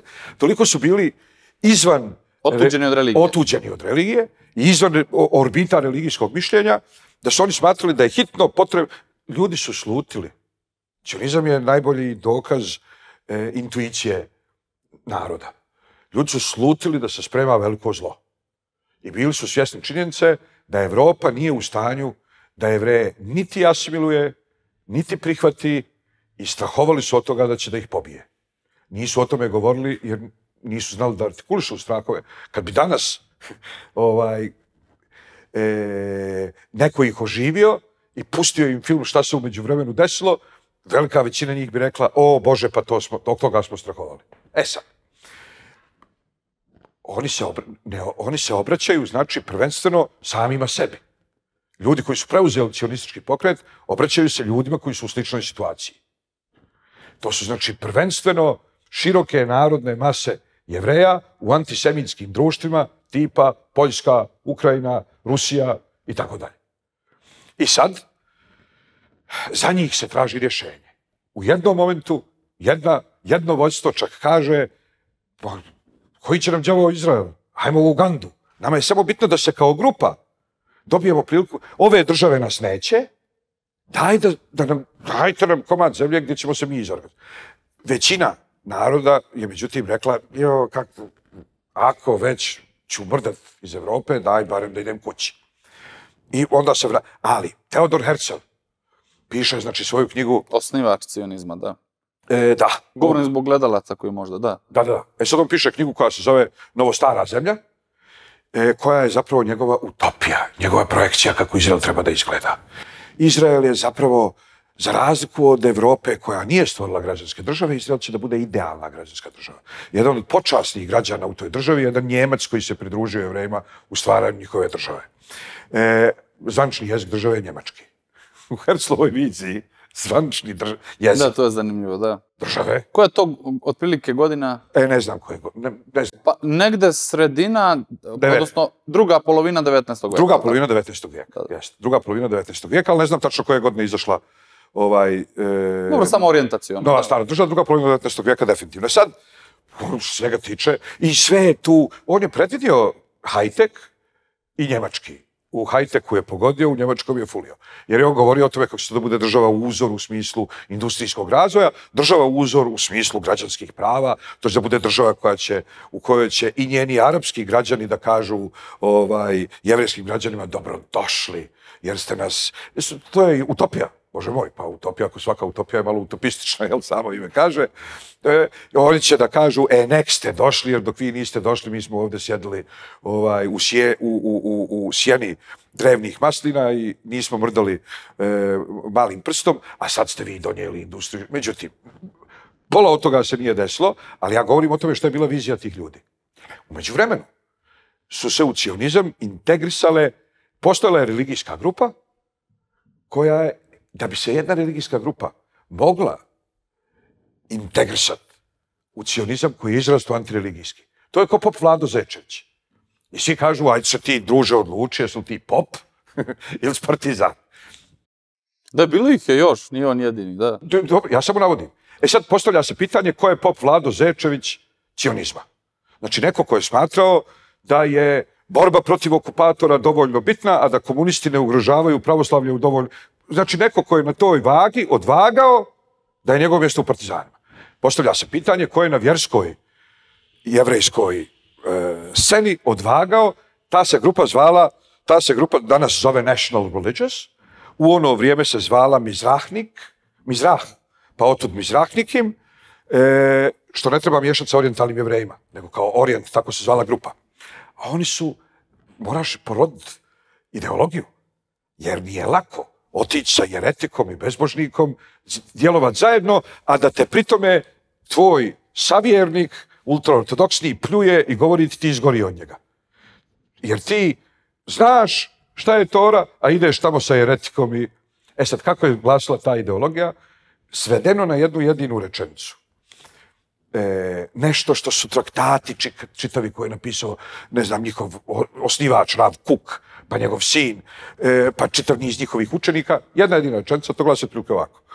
Bog je u svojoj premudrosti znao da religiozni jevreji nikad ne mogu da budu dovoljna govna da se bave stvaranjem države. I zato je u svojoj premudrosti dozvolio da jedna generacija postane nereligiozna kako bi mogla da obavi taj e, glupi posao. A budući da su on, da oni obavljaju taj glupi posao koji je zapravo najsvetiji posao od svih mogućih poslova, onda njihova, njihovo obavljanje posla njih čini svetim, unatoč činjenici da se ne pridržavaju ničeg. Vrlo upitna ideologija, ali ta ideologija omogućila čitavo jednoj grupi religioznih jevreja da se uključi u cijenički pokret pop Vlada Zečević. E sad, ta je uspjela umeđu vremenu da se inkorporira u sve pore društva, a istovremeno imaju mnogo više djece nego sekularni. Nekada je top e, oficiri izraelske armije su se regrutovali iz kibuca. Danas se top oficiri izraelske armije regrutuju gotovo isključivo iz te religijsko-cionističke grupe. I ta je grupa uspjela da od neč... religiju od nečega što država upotrebljava i zloupotrebljava, pretvori u nešto sasvim drugo. E sad, država se mijenjala, mijenjali su se ultraortodoksni, samim tim mijenjala se i pozicija ultraortodoksnih prema države. Danas u, svim, u većini vlada Izraela sjede i ultraortodoksni. Oni još uvijek e, plaćaju ono što se zove na engleskom lip service, znači ovaj, porez usana, tome da oni ne žele da učestvuju i onda primaju platu ministra, ali se ne zovu ministar. On se da, zovu da, to ste pričali ministra. u prošloj emisiji, bilo je jako zanimljivo. Našli su prosto način da budu ministri, a da formalno to ne budu i tako Jeste. Uh, jedno od pitanja koje, smo, koje također nismo, koje nismo pripremili, a koje je zanimljivo, dok ste pričali, palo mi je na pamet, uh, šta su Hazari i Hazarija? I kako je nastao, uh, nastala teorija o protokolu sionskih mudraca? Šta se tu uopšte desilo? Mislim da to treba pojasniti jer to su neke teme koje su dosta popularne u jednom delu, ne samo srpskog YouTube-a, nego pretpostavljam i globalnog.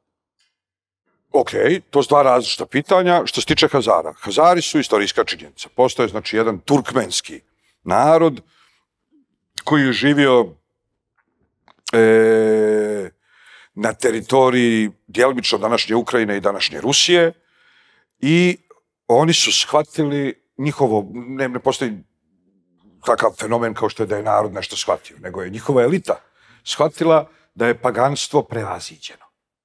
I oni su bili okruženi Kom vrem, vremenskom okviru govori? E, to je problem. Ja se bavim književnošću, manje se bavim istorijom, znači govorimo o nekom od 10. do 12. vijeka. Od dobro, prilike. da. Od 10. do 12. vijeka. Oni, znači, ljudi žive okruženi Vizantijom s jedne strane i islamom s druge strane i oni shvataju da u borbi sa monoteizmom nemaju nikakvih šansi. Jednostavno shvataju da oni koriste DOS u vrijeme kad jedni imaju Windows 7, drugi imaju Windows 10. Međutim, nije im se dopala ideja da pređu na pravoslavlje, jer bi bili kolonija Vizantije. Vizantije. A nije im se dopadala ideja ni da pređu na islam, jer bi bili kolonija islamskog, islamske hemisfere i oni su htjeli da pređu na monoteizam kao savršeniji oblik povezivanja među ljudima, e, ili ajde savršeniji oblik civilizacijskog funkcionisanja, a da istovremeno ostanu nezavisni. Zbog toga se njihova elita opredijelila za judaizam. Ima o tome jedna divna knjiga koja se zove Sefera Kuzari ili knjiga o Hazarima. Tvorac te knjige je Ribije Udaha Levi, znači jedan čuveni ovaj, jevrejski filozof i pjesnik. E, on je to obradio onako kao što Platon, ovaj, kao što je Platon pisao o Sokratu. Znači sve su dijalozi. Pa on se tu opisuje dijalog na dvoru e, Kagans, Kagana, to je znači hazarskog vladara, u kom je on pozvao predstavnika hrišćana, predstavnika muslimana, predstavnika judaizma i tako dalje. Drugim riječima, on je dao jednu književnu e, Komponent. komponentu cijelom tom događaju koji je neosporno istorijski. Rusija i Hazarija su se sukobile. I e, to je česta pojava, nije to bilo prvo carstvo koje su e, napravili oni koji su na judaizam prešli. Recimo, prije toga je u Jemenu o, bio je jedan car koji se zvao Dunuvas, ovaj, e, koji je osnovao jevrejsko himjaritsko kraljevstvo i zbog progona jevreja u istočnom rimskom carstvu objavio čak rat Vizantiji. E, kao što, je, kao što su tamo etiopijski vladar i car Vizantije zajedno napali to jevrejsko kraljevstvo, tako su, tako su se ovdje sukobili Hazarija i Rusija. I Rusija je pobjedila. Rusija uspjela, uspjela da potčini Hazare. E, ima čak jedna Puškinova pjesma, dugačka poema, čitava o pobjedi nad Hazarima i tako dalje. Tako da je e, jedan od, jedna od osnova ovaj tradicionalnog ruskog antisemitizma, a možemo kasnije da se dotaknemo i pitanja ko od pravoslavnih naroda manje, ko više, ko nikako, ko svakako, i to je vrlo interesantna skala i ništa tu nije 2 i 2, 4, sve je vrlo, e, kako se to zove, e, raznobojno.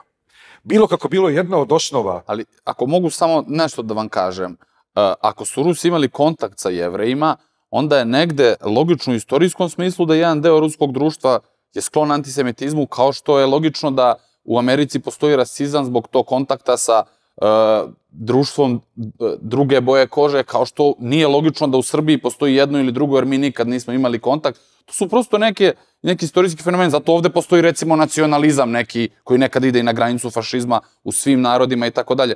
Mislite li da je to normalno kad postoji kontakt između dve zajednice, da se stvori neka mržnja između njih?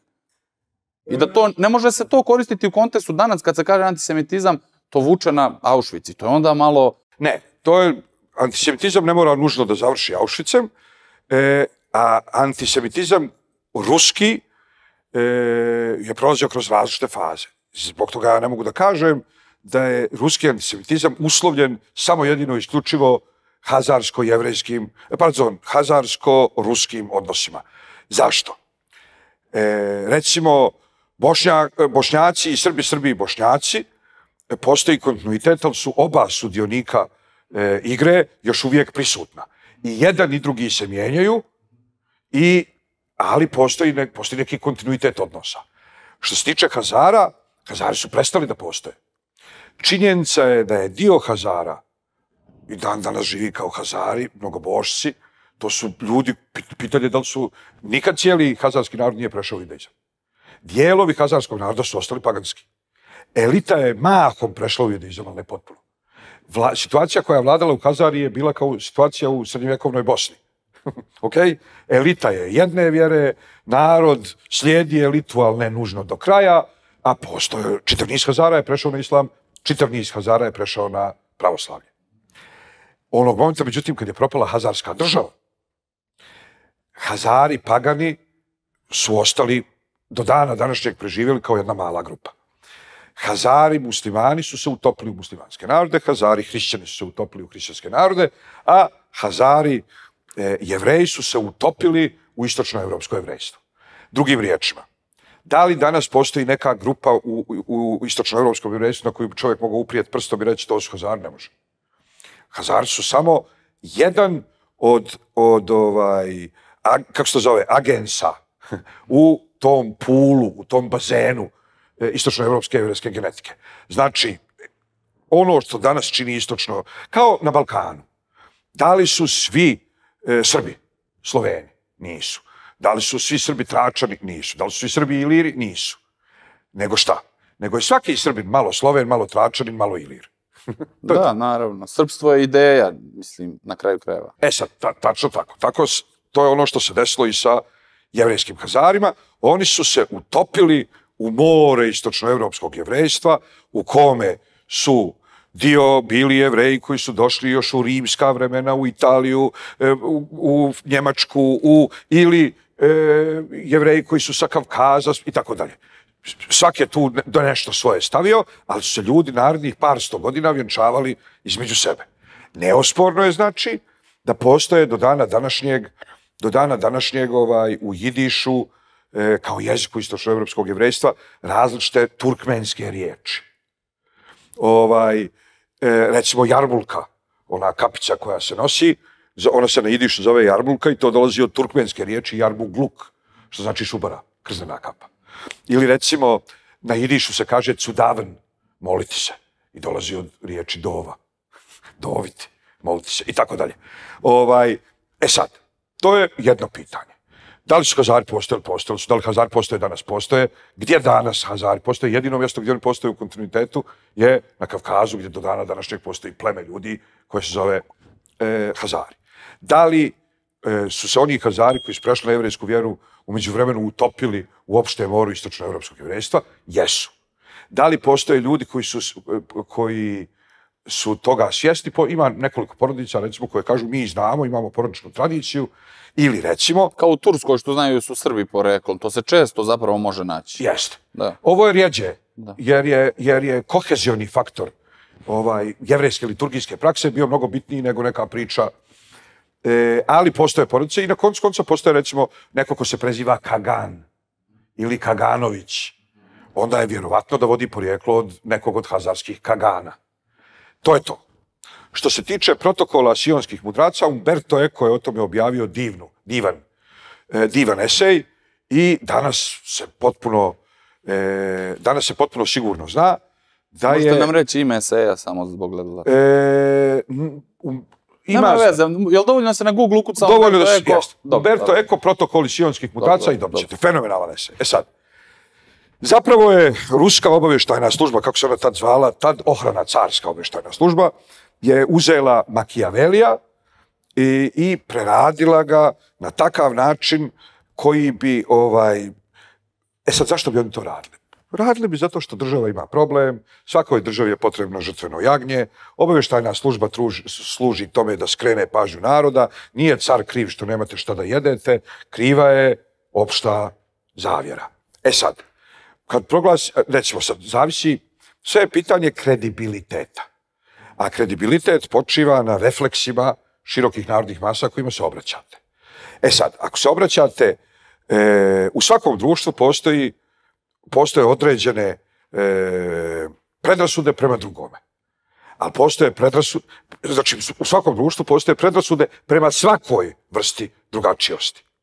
Ali ne, mo, ne može svaka predrasuda da izdrži na svojim plećima svaku tvrdnju. Ako bi sad neko došao u Srbiju i rekao da su Romi krivi za sve što je znašlo Srbiju, to ne, svi bi se nasmijali grokotom. Ne zbog toga što svi misle da niko od Roma nikad nije, nego zato što, halo čoveče, gdje ti to vidiš? Nerealno je, da. Nerealno je.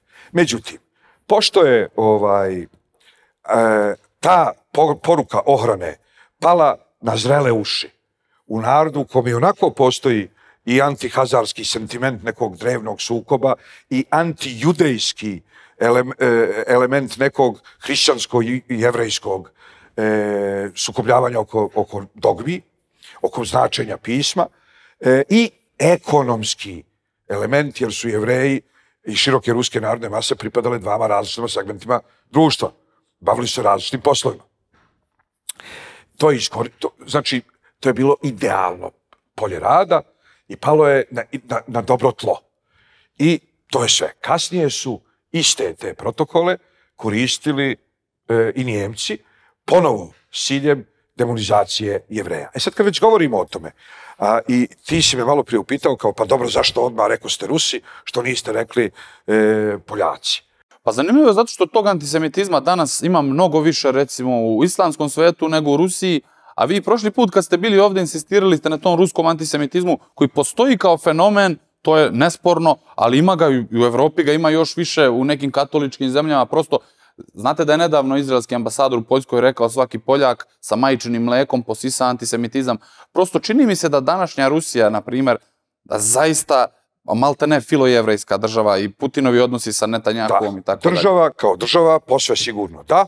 U toj mjeri da čak ni crkva, pošto su u Rusiji crkva i država, država i crkva bitno povezane, čak ni crkva ne smije da koristi terminologiju ajde što kaže, što znači ne smije. Ja želim da vjerujem da velika većina ne bi nikad bi mogla.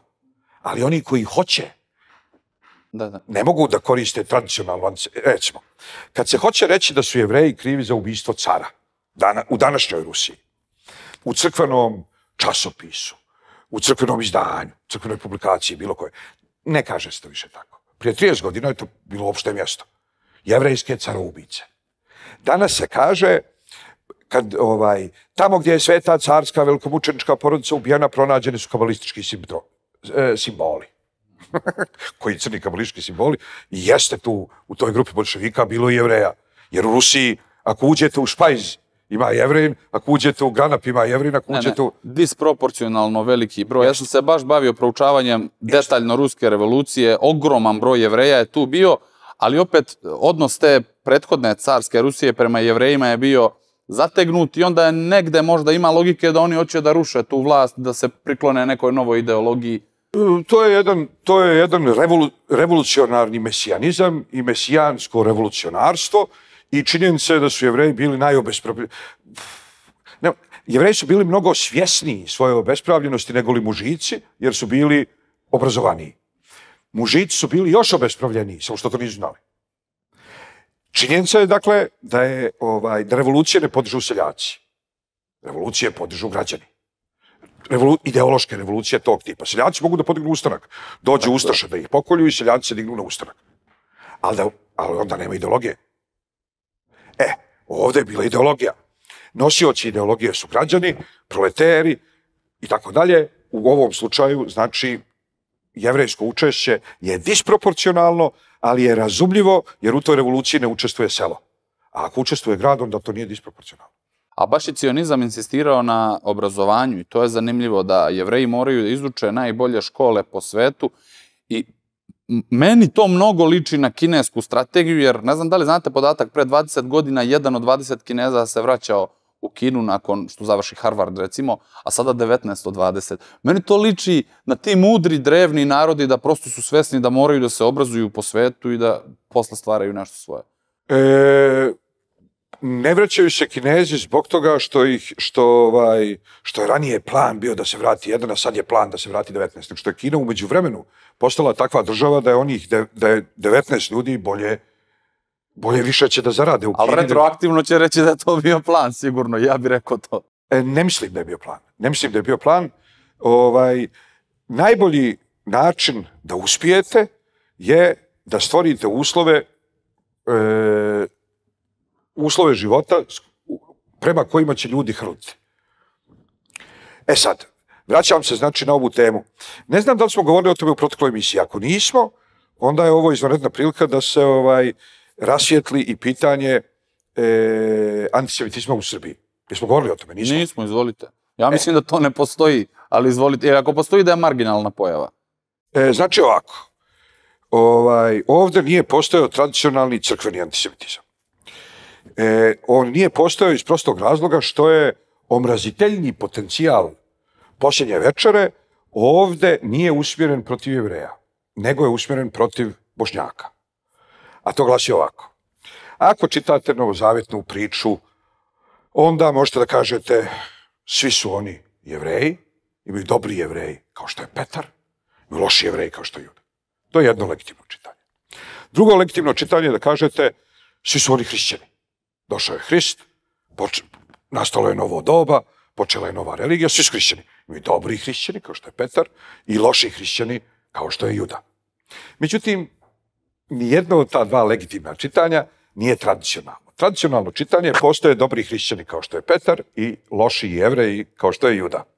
I gle čuda, Petra, Petar se i zove hrišćanski, jeli? ali ne zove. Njemu ime bilo Šimon. Imao je nadimak, pošto je bio jak. Zvali su ga Stijena, Black Stijena. Crni Petar Black, šalim se, nego zvali su ga Petar Stijena.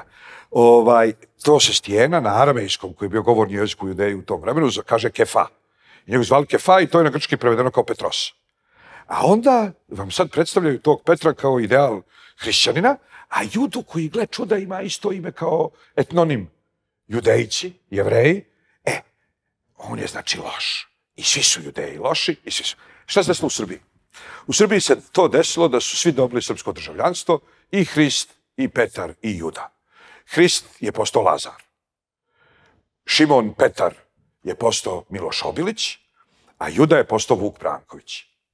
E sad, svi oni neki termini koji postoje, recimo i u Kumšiluku, od judinih škuda do judinog ćelova, do u Srbiji ne postoje. Judin poljubac Vuk, možda ima. Judin poljubac, ali Vuk Dobro. Branković je daleko jača metafora za izdaju. Jeste. Znači, ako hoćete da kažete, ne znam šta, da, da Tadić je izdao ovo, kažete, ovaj, e, oj Tadiću, e, Brankoviću vuče, ne vidjehte na Kosovu juče. A ne kaže mu, oj Tadiću, ti prokleti judo, Jeste. šta ti misliš, čije li si?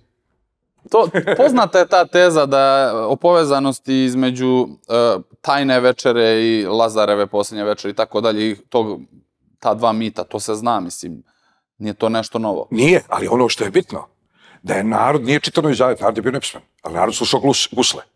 I uz gusle mu je prepričana ta priča na takav način da je kompletan, kompletan omraziteljni potencijal e, priče o Judi iskorišten protiv Vuka Brankovića.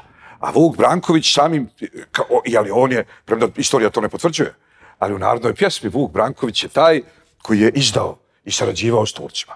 A onda, pošto e, srpski nacionalni narativ muslimane posma, ili bošnjake današnje posmatra kao e, Srbe koji su prevjerili ili koji su se poturčili, onda je ovaj Vuk Branković jest jednako musliman. E sad, e, pošto je izmaknut temelj, postoji različiti antisemitizam, postoji ekonomski antisemitizam, postoji teološki antisemitizam, postoji politički antisemitizam, postoji rasni antisemitizam. E, u, vrlo često je osnovni temelj teološki antisemitizam, pa se na njega na, na, naš, našteklaju ekonomski, politički, rasni i tako dalje. U Srbiji je taj osnovni e, temelj antisemitizma teološki izmaknut jer je on iskorišten za nešto drugo. Činjenica je da postoji freska Juda, e, predstava tajne večere, svi imaju oreole, Juda nema oreol, Juda je okrenut leđima, Hristo drži ruku na stolu, u ruci drži novčanik i tako dalje, ali nije to, nije to metafora koja živi svaki dan. Zašto? Zato što prvi put kad staje penzioner koji je vidio tu fresku iznervira, neće nikome reći da je Juda, nego će mu reći da je Vuk Branković. Znači, mit o Vuku Brankoviću je mnogo jači od mita o Judi. I po te pare, to je urodilo time da ovde antisemitizam nema tradicionalnu teološku osnovu. Idemo sa sljedeći. Kad se on pojavljuje u crkvi, on se pojavljuje prvenstveno kod vladike Nikolaja Velmirovića, koji je, gle čuda, školovan u inostranstvu. Znači, to nije od, od zgusala ovaj, poniklo, nego je on to donio iz Berna, iz Londona, gdje je već učio i ta su društva ovaj, u datom momentu zapahnuta duhom naučnog antisemitizma. E sad, Šta je to ekonomski antisemitizam? Ekonomskog antisemitizma u Srbiji je bilo, već poslije ustanka e, srpski knezovi se bor, bune protiv toga što će jevreji iz turskih gradova da se s, s, razmile, pod navodnim znacima, po narodu. Ovaj, knez E, Miloš shvata da je to dobro za ekonomiju cijelog društva. Prvo je pravedno. Ljudi rođeni ovdje, žive ovdje, ne možete im reći, ti sjedi i nemoj mrdati. A drugo, to je dobro uopšte za ekonomiju.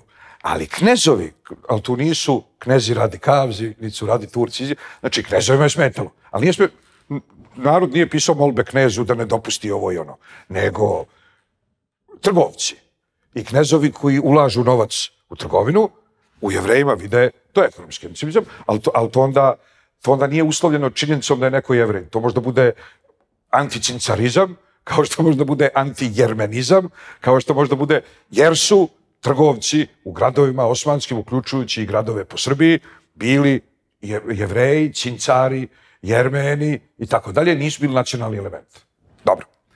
E, šta je to rasni antisemitizam? Rasni antisemitizam je, nakon što su evropljani postali imuni na religiju, e, onda je bilo jako, znači čovjek uopšte ne vjeruje da je Hrist postojao, ako je postojao nije bogo čovjek i nije sin Boži i nije ubro i nije ovaj, vaskrso. I šta te onda briga? Da li zgobili Rimljani ili zgobili je boli to? Nego šta? Onda... Ubila ga je demokratija, ako mene pitate, ali ajmo dalje. Da vas ne prekidam, izvinite. Onda se, onda se, ovaj, onda se znači, prelazi na rasni. Kad je Evropa religijska, njome vlada religijski antisemitizam, kad Evropa postane naučna, ona odmah izmisli naučna. To je kontinuitet antisemitizma. Znači, ono što je karakteristično za to društvo je antisemitizam, a kojim će plaštom da se zaodjene taj antisemitizam, to je pitanje e, kako se, znate onaj status na Facebooku kad kaže ovaj, podržavam the current thing. Da, da, aktualna sam... stvar, da. E, znači, aktuelna stvar, konstanta je jevreje mrziš, a uvijek ih mrziš iz aktuelnih razloga. Ali dobro, čekajte, uh, u Srbiji to ne postoji na nivou fenomena nekog ne, u narodu? Ne, ne. Da. Pa koji postoji na nivou fenomena u narodu? E...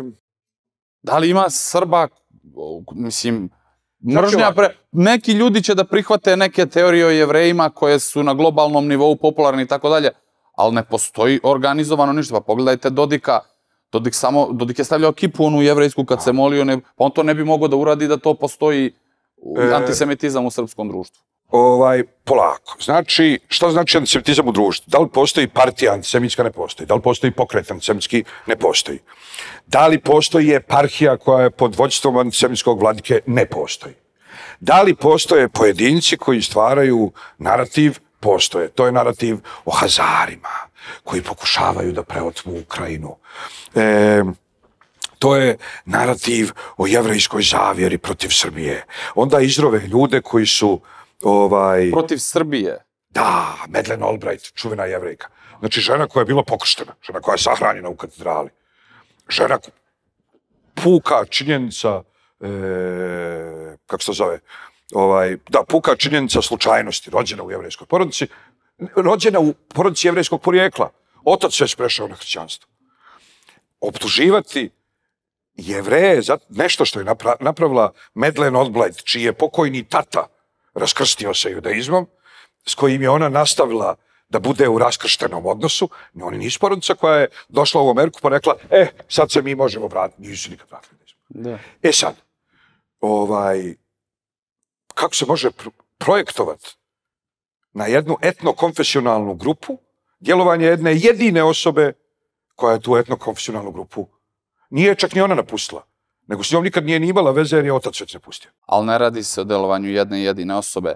Radi se o tome da su Srbi bili žrtve tog američkog imperialnog pohoda, ajde da kažemo, na istok ka Rusiji. I radi se o tome da je uh, broj jevreja u, recimo i u Obaminoj, ovoj Bajdenovoj administraciji disproporcionalno veliki. Onda imate broj evreja u Hollywoodu koji je disproporcionalno veliki, a taj Hollywood je napravio stotine i stotine filmova protiv Srba i tako dalje. Ali, po mom mišljenju, postoji taj neki uh, osjećaj, ajde da kažemo, mržnja je preteška reč, ali ljudi ovde ne vole Ameriku, ne vole Zapad, ne vole Veliku Britaniju, a te jevrejske lobije tamo za koje postoje, za koje se zna da su jaki, donekle možda u drugom ili trećem stepenu krive, ali primarni fokus tog, e, te emocionalne energije, kakav god je bio predznak, je zapravo prema Amerikancima i prema Britancima i tako dalje. Ali ide onda, evo da, e, naravno završite, ako niste završili tezu, a onda mi prokomentarišite e, taj, tu snagu tog, izra, tog jevrejskog lobija. U Vašingtonu mi znamo da se Netanjahu sukobljavao sa Obamom, otprilike misleći da je jači od njega, pa ode tamo u Washington, pa uđe u kongres, u senat, ne sastane se uopšte sa Obamom. Postoji neka sada najnovija teza da on sada gleda kako da ove odnose sa Bidenom uh, uh, konfiguriše. Ako ne bude to bilo onako kako Netanjahu želi, on će ići opet preko republikanaca kroz kongres. Ne nužno. Dobro, ali teza o jevrejskom lobiju u Vašingtonu. Bibiju, neki, neki to vole, neki to ne vole, ali je činjenica da je Bibiju često evangelički lobby bio mnogo bitniji od jevrejskog. To ljudi ne znaju. E, kogod hoće možda provjeri, uđete na YouTube, vidite e, evangelički hrišćani ili, da, kako, nema, evangelički hrišćani, ovaj, podrška Izraelu. Mnogi u Izraelu su to zamjerali Bibiju, e, posebno sekularni krugovi koji onako imaju verziju prema judaizmu, a ne, ne, ne, ne li prema drugim religijama i oni su otprilike u fazonu, halo čovječ, igraš se vatrom i zar ti ne shvataš da za njih to oni mogu sad da pruže ruku Izraelu, ali to je zbog nekog njihovog mesijanskog ludla u kome one misle da, da to unapređuje Hristov drugi dolazak, ali oni očekuju da kad Hrist drugi put dođe ili neposredno prije što dođe, da se ti pokrstiš, ili ti misliš da se pokrstiš, ne misliš da se pokrstiš, ti njih varaš, oni varaju tebe, oni tebi ne kažu da očekuju da se pokrstiš, ti njima ne kažeš da ne misliš da se pokrstiš, A on kaže, halo ljudi, u vrijeme kad se podrška Izraelu među američkim jevrejima postaje sve upitnija, jer su e, u Americi postoje naravno i konzervativni jevreji, kad kažem konzervativni, ne mislim konzervativni demokrate, nego mislim konzervativni u smislu pogleda na svijet. Religiozni na ovaj, onaj ili onaj način, ali većina američkih jevreja je liberalna. Nereligiozna, liberalna i visoko asimilovana visoko asimilovana znači da imaju ovaj e, baba i deda jevreji, ovaj, pa je onda već mama ili tata vjenčan s nekim, pa onda imaju unuka ili unuku koji je već vjenčan s nekim trećim, ali još uvijek postoji jevrejsko prezime, još uvijek postoji svijest o jevrejskom identitetu, još uvijek postoji ovaj e, pregalaštvo da se određene, ali vrlo često ćete vidjeti da evrijske organizacije daju pomoć. Vrlo često ćete vidjeti da evreji daju pomoć jevrejskim organizacijama isključivo ako će ta pomoć da bude dijeljena na onome što se zove non-sectarian basis. Znači, recimo, za vrijeme ovaj, građanskog rata u BH, e, Joint je prikupljao sredstva gdje je ovolikim slovima bilo, pisa, pisalo non-sect, znači jevrejska organizacija, prikuplja sredstva prvenstveno od jevreja, ali jevreji ih neće dati ako ih ta organizacija daje samo jevrejima. To mora... Ta joint, to je neki naziv... Joint je naziv, znači to je narodni naziv nečega što se zove American Jewish Joint Distribution Committee. AJJ, American Joint, Jewish Joint Distribution Committee, AJJDC. Međutim, narod to ukratko zove joint. Ovaj, I znači kao zajedno ta reč. Jeste, zajedno. Ali oni ne bi mogli dobiti pare, da ne piše da će biti podijeljene na non-sektarijan bazi. Zašto se ovo skupa navodim? Znači, kad gledate nešto s polja, onda to vam to nešto djeluje monolitno. I pričaju dvojica, pričali smo malo prije nas dvojica o tome, recimo pričaju dvojica budista i jedan budista kaže, eno ga Pero, on je hrišćanin. I može, na tom nivou, za dvojicu budista, Pero je hrišćanin. Ali ako pričaju budista i hrišćanin, i budista kaže hrišćaninu, eno ga Pero, on je hrišćanin, Pero kaže koji? Jer hrišćanin opšte prakse ne postoji. Ako želite da praktikujete hrišćanstvo, vi ga, vi ga možete praktikovati samo jedino isključivo kroz jedan od njegovih pojavnih oblika. Pravoslavlje bujrum, katoličanstvo bujrum, protestantizam bujrum. Ali ne postoji hrišćanstvo, ja sam hrišćanin, ni pravoslavac, ni katolik, ni... Dobro. E sad, jevreji isto tako, kao i hrišćani, podje, su podijeljeni na čitav niz grupa. Jevrejski lobby, kao takav, ne postoji u monolitnom smislu. Postoji čitav niz manjih i većih jevrejskih lobbying grupa koje se u zavisnosti od najmanjeg ili najvećeg ovaj, kako se to nazove, najmanji zajednički sadržavac, udružuju sa drugim grupama. Sad postoje, recimo, kad je u pitanju da li država Izrael treba da postoji i da li se mora osigurati njeno postojanje, ogromna većina jevrijskih lobbying grupa se u tome slaže. Kad se po, po, postavi pitanje podrške određenoj vladi, pola grupa kaže mi bi bio nikakvu podršku. Da, da. Ljudi to ovdje ne znaju. Ljudi misle da cijeli jevrijski lobby ima jedna stvar, ono zove jevrijski lobby, priznaješ dugme, jevrijski lobby pjeva pjesmu. Ne. Jevrijski lobby je, e, predstavlja o interese različitih jevrijskih organizacija. Znači, postoje različite jevrijske lobbying grupe.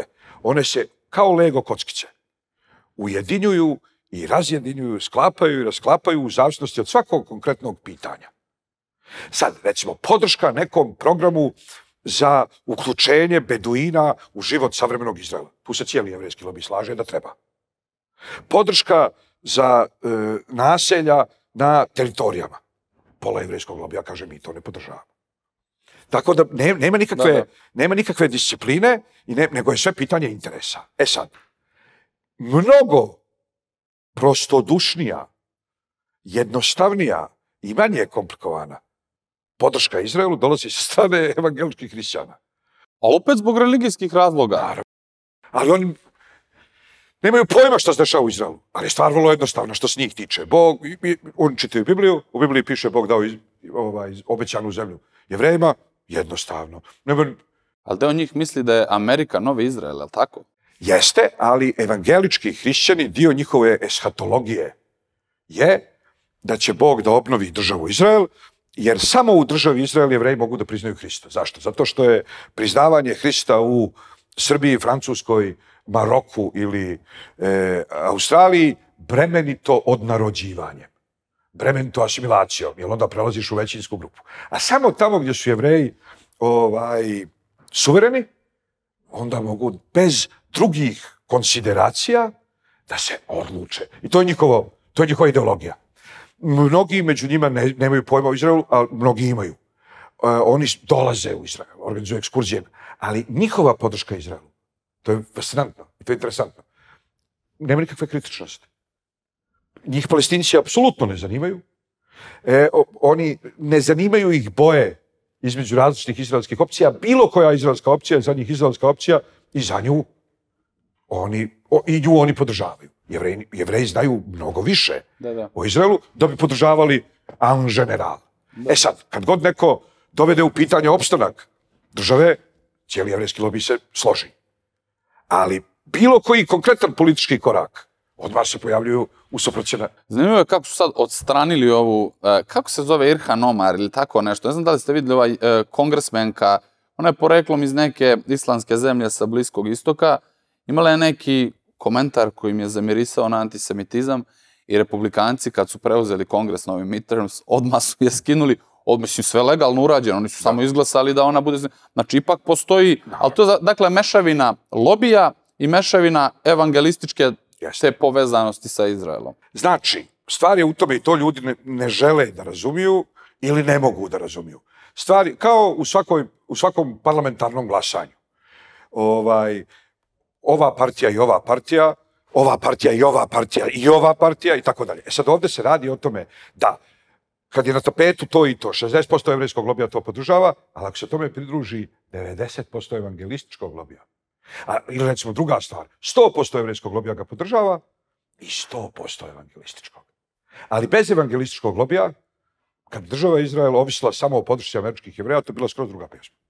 Pa tada, između ostalog zbog toga što su jevreji mnogo podeljenije društvo nego što ljudi razumeju, i jedna od, jedan od najfascinantnijih simbola te podele je e, različitost ili raznolikost između Tel Aviva i Jerusalima.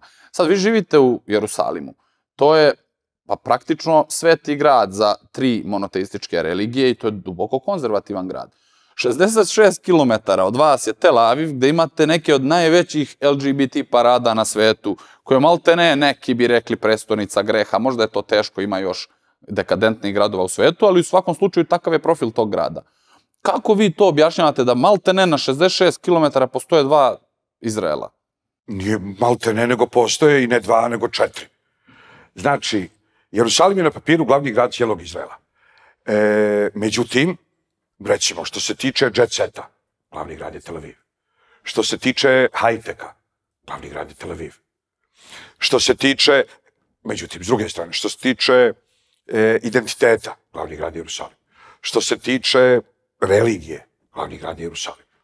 Ali, ovaj, gravitacija prema jednom od tih dvaju centara, recimo Jerusalimu, gravitira kompletno religi, re, e, konzervativno ili, ajde, tradicionalno, neću da kažem nužno konzervativno, jer ljudi mogu da budu i tradicionalni i liberalni. Ali kompletno tradicionalno stanovništvo, kako konzervativno, tako liberalno, gravitira Jerusalim. A s druge strane, opet, kompletno sekularno stanovništvo što ovaj gravitira ka Tel Avivu.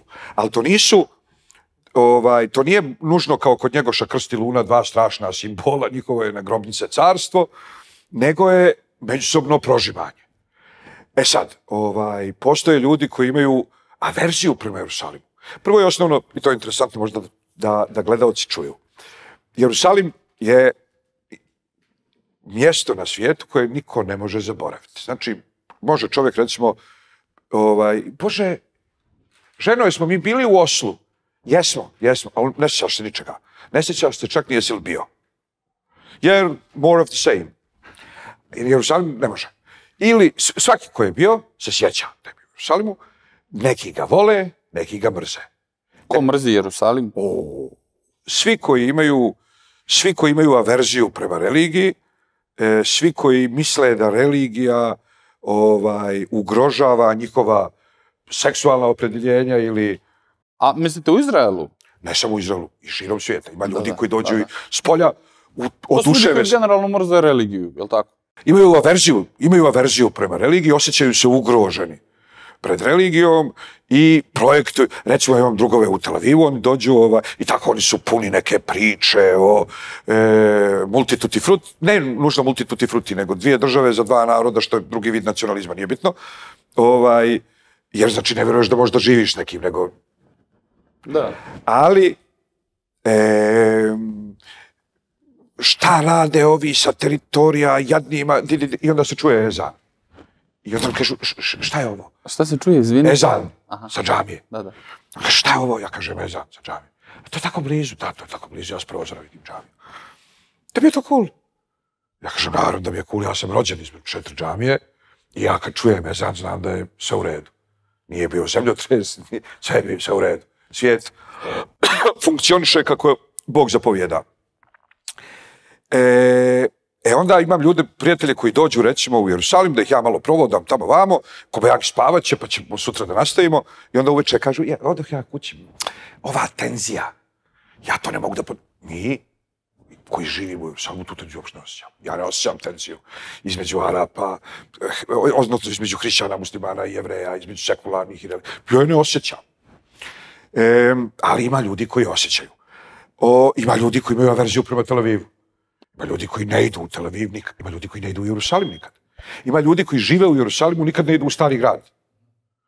E, društvo je jako podijeljeno. Međutim, te podjele nikad ne mogu da urode, neću da kažem srećom, jer ono što hoću da kažem, poslije toga je nesreća. Ali one, ne, ne, zato ne kažem srećom, ali one ne urađaju nekim pucanjem po šavovima, samo zbog toga što postoje spodnji kohezioni elementi.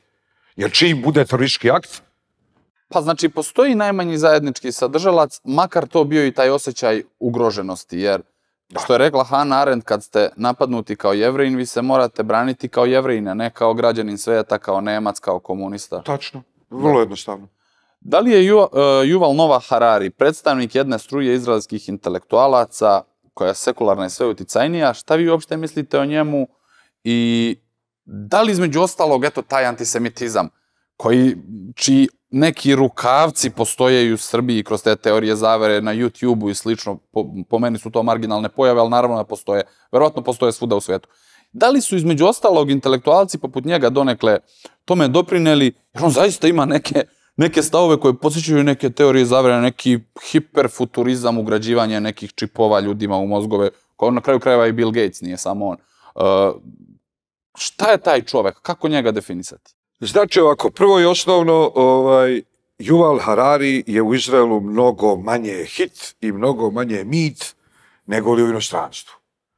vi kad otvorite, vi kad otvorite YouTube i ukucate Yuval Harari na engleskom, dobijete njegova gostovanja od Sidneja, Londona.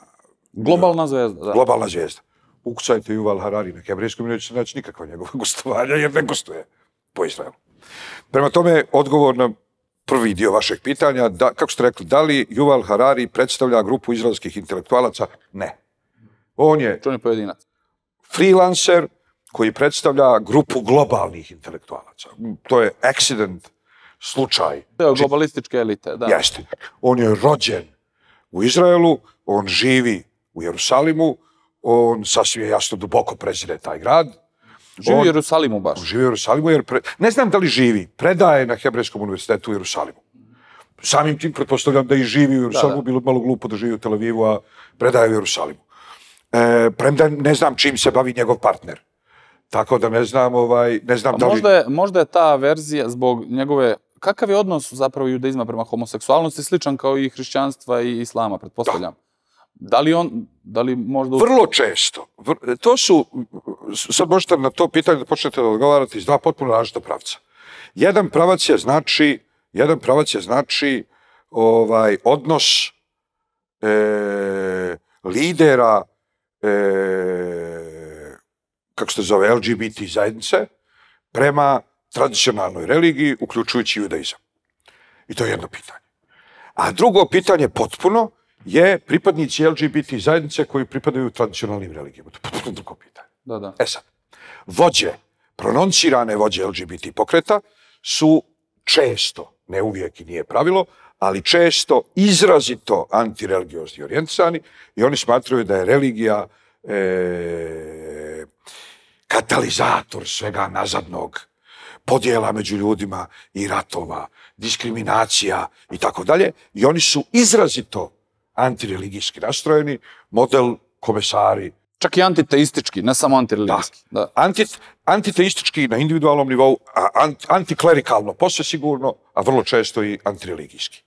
E sad, s druge međutim strane, vi imate ljude koji pripadaju različitim religijskim tradicijama i unutar, recimo, jevrejske religijske tradicije, različitim grupama. Imate, imate čovjeka koji je ultraortodoksni i homoseksualac i on pokušava da te dvije stvari propomiri kroz to što živi s muškarcem, ali ne upražnjavaju analni seks. I on kaže, zabranjen je analni seks. Nije zabranjeno, e, imate emocije. Ne ulazimo sad u detalje Da. drugih oblika seksa, ali on kaže, mi živimo zajedno, mi ne upražnjavamo. Znači, jedan ekstrem, drugi ekstrem. E sad, dotični... Postoje i homoseksualci, izvinite, ako govorite o ekstremima, postoje i homoseksualci koji nikome ne govore o tome, osim možda najbližim ljudima, i koji, evo ako su recimo hrišćani, idu u crkvu, koji žive kao većina društva i koji su potisnuli negde u sebe tu svoju homoseksualnost. E, Da li, Ne verovatno, mislim da se radi o potiskivanju. Jednostavno, jednostavno, seks je jedno, ideologija je drugo.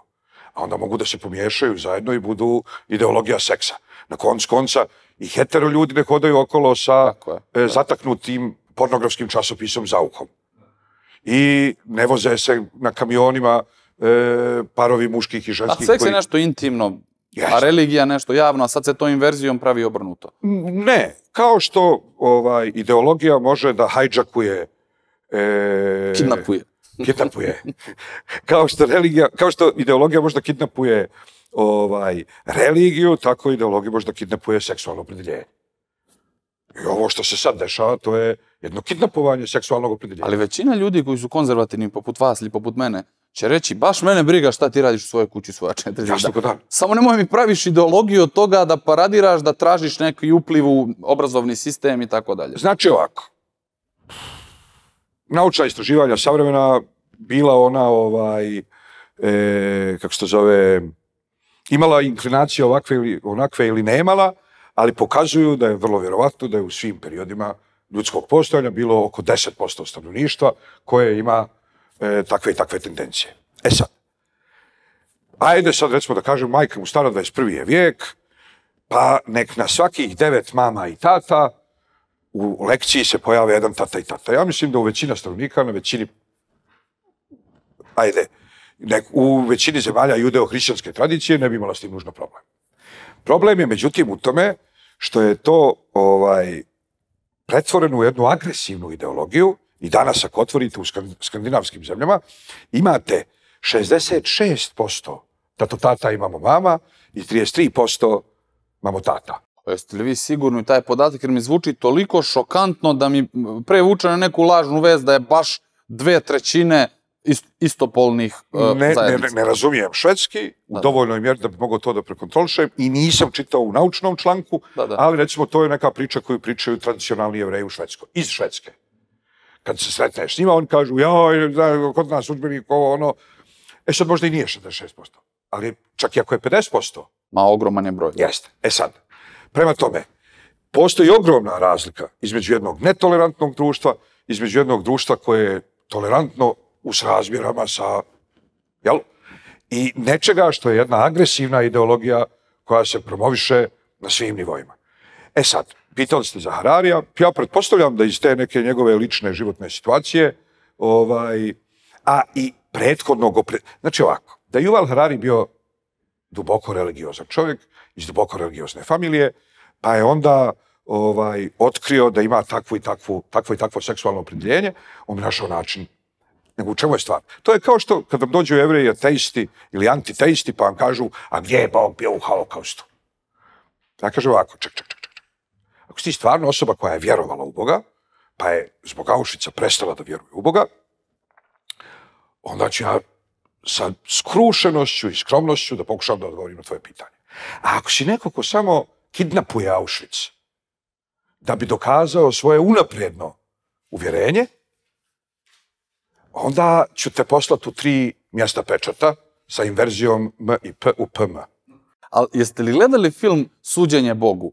O, Ja sam, To je tako Zašto? fantastičan film. Jedan od najboljih filmova koje sam gledao u životu. Uh, koja je po vama pouka tog filma? Evo, preporuka za gledalce da odgledaju. Koja je po vama pouka tog filma? A evo sada, eto, on to zove se spoiler, spoiler alert, znači sad ću otkriti kraj, tako da gledalci koji hoće da gledaju možda mogu preskoče narednih minut. Da li je pouka tog filma na kraju, kada oni svi kreću, da, kada dosudi se da je Bog kriv što su jevreji Auschwitz. To je ogromno iskušenje. Ja uopšte ne bih osuđivao nekoga koji je izgubio veru u Boga zbog Auschwitza. To je jedan ogroman besmisao i iskušenje. Ali kada oni dosude da je Bog kriv, neko kaže, ok, ostali smo bez Boga, šta sad? I oni shvataju da iako je Bog kriv, da on, njima i dalje ne preostaje ništa osim Boga i svi kreću da se mole dok ih odvede u gasnu komoru. Ta sam se naježio, znači, ako nema Boga, nema smisla, pa makar taj Bog nekad u našem shvatanju stvarnosti mogao i biti kriv za nešto. Znači, počeli ste jednu temu koja je, sad bi mogli da ostavimo ovde 48 sati. Ima knjiga o Jovu. Kolega će se pobuni uskoro, osjećam tako da nećemo toliko dugo moći.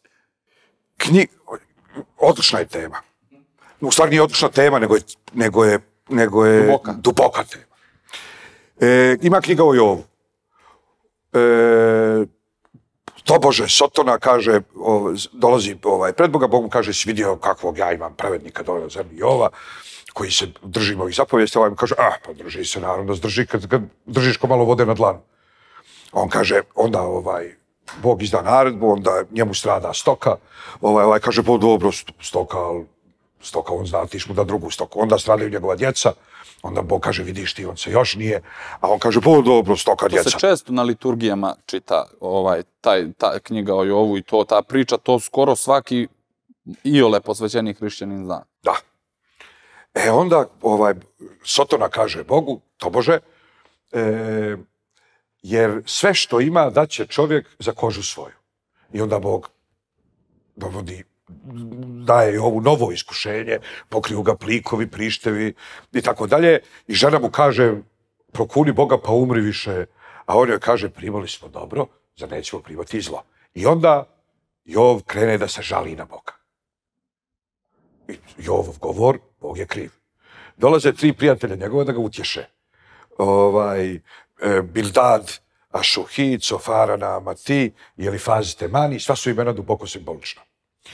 I ko ne zna e, hebrejski, slabo možda prati. Elifaz Temani znači Bogozlat Južnjaković. Moj Bog je zlato. E, šof, ovaj, kako se zove, Sofarana Mati znači glasnogovornik idolopoklonstva, a Bildada Šuhi znači besprijateljko Dogmatinović.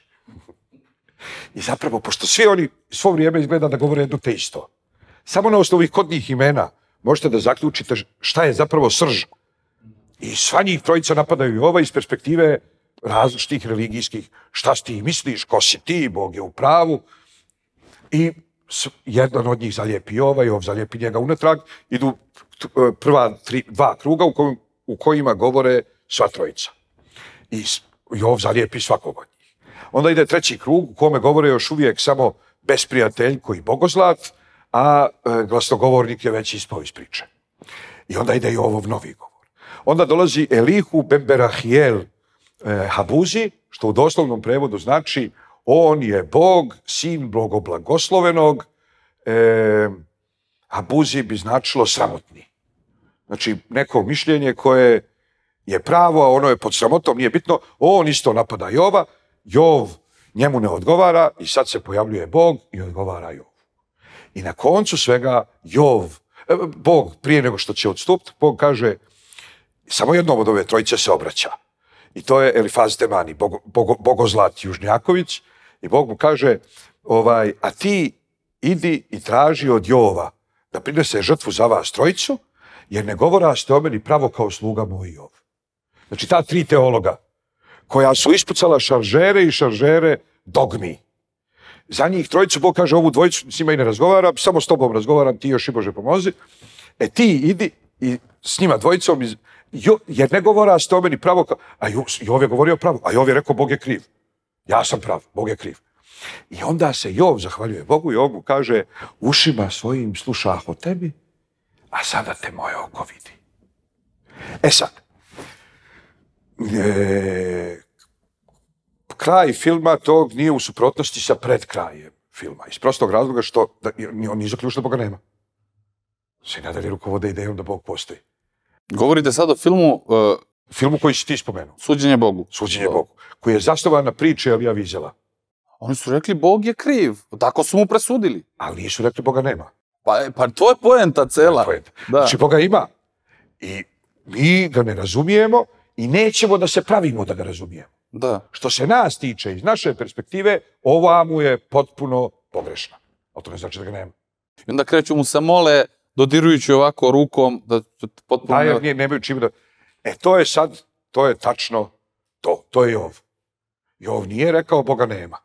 Ali Jov samo govori, moj način života ne opravdava tvoj postupak prema meni. Ali ja i nadalje vjerujem da te ima. Da se vratimo za kratko na Hararija. Treba li njega čitati? Lično ga nisam čitao, čitao sam neke njegove seje, on je meni jako zanimljiv.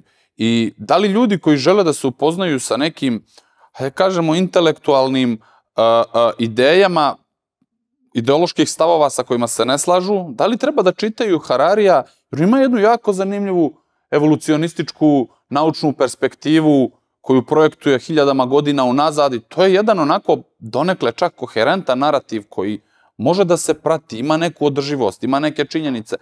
Treba li ga čitati i da li ga cenite u intelektualnom smislu, iako se s njim ne slažete u ideološkom? Prvo, ne cijenim ga u intelektualnom smislu iz prostog razloga što mislim da postoji nauka i postoji e, petparačka nauka.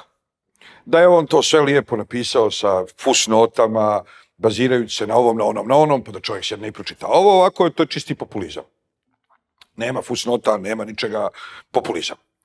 E sad, zašto je on toliko cijenjen globalno, a toliko malo e, nacionalno? Pro, pokuš, zato što se ne radi o nauci. Radi se o religiji.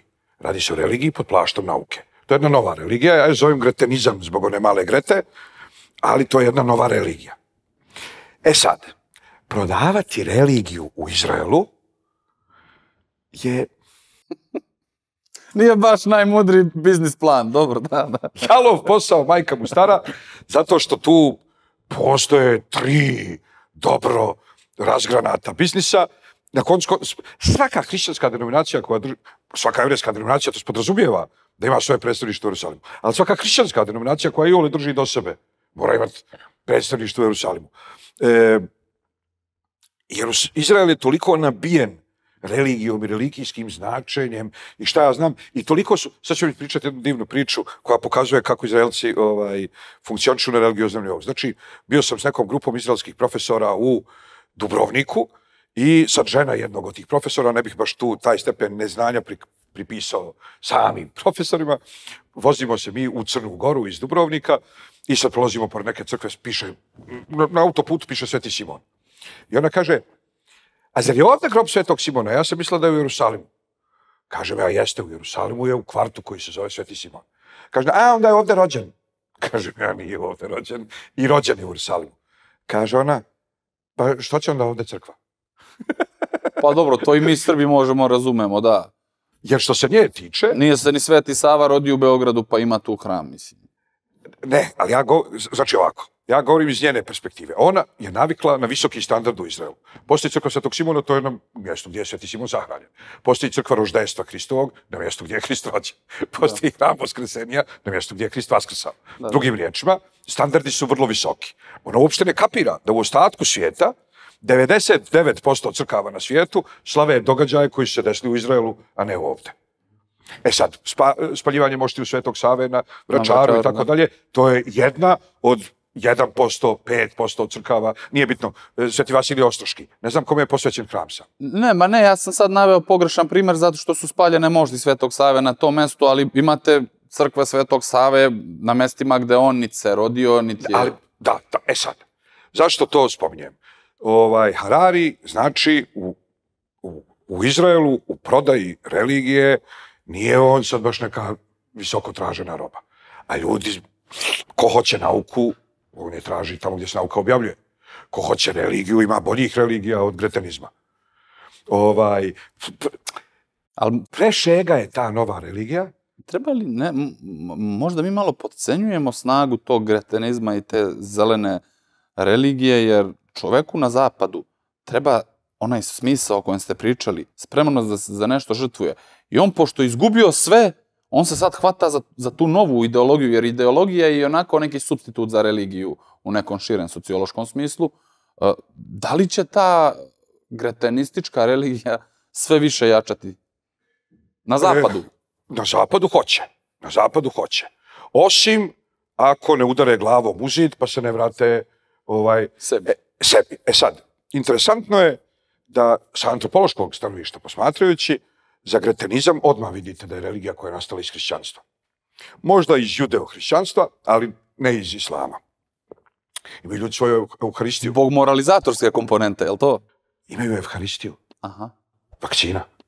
A dobro, ne mora da bude povezano. Mora da bude. Pa povezano je od 2020. najviše, ali... Od, znači, vouk religija ima sve moguće ikonografske elemente hrišćanstva. Hajmo ovako, ima prvotni grijeh. U hrišćanstvu je prvotni grijeh to što je. U gretanizmu prvotni grijeh je to što koristimo e, ove goriva. Pa da, da. Jeste zagađenje svijeta. Odlično. E sad. Ugljen dioksid. Ugljen dioksid. Odlično. To je prvotni grijeh. E, međutim, postoji način da se pokajemo. A to je da prihvatimo religiju koja nas osvještava i koja će da... Do...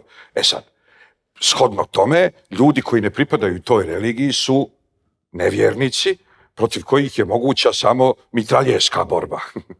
znači, kad se radi o nečemu što je naučno pitanje, onda se raspravljate i iznosite argumente. Kad se radi o nečemu e, gdje, ako ne vjeruješ u ono u što vjerujem ja, ti si osuđen na propast, e, i, za, i nema za tebe spasenja, njihovi su refleksi duboko religijski refleksi. A kad sam vidio da su vak, od vakcine napravili Euharistiju, jer putem Evharistije u hrišćanstvu čovjek znači e, postaje sudionik u božanskome, da.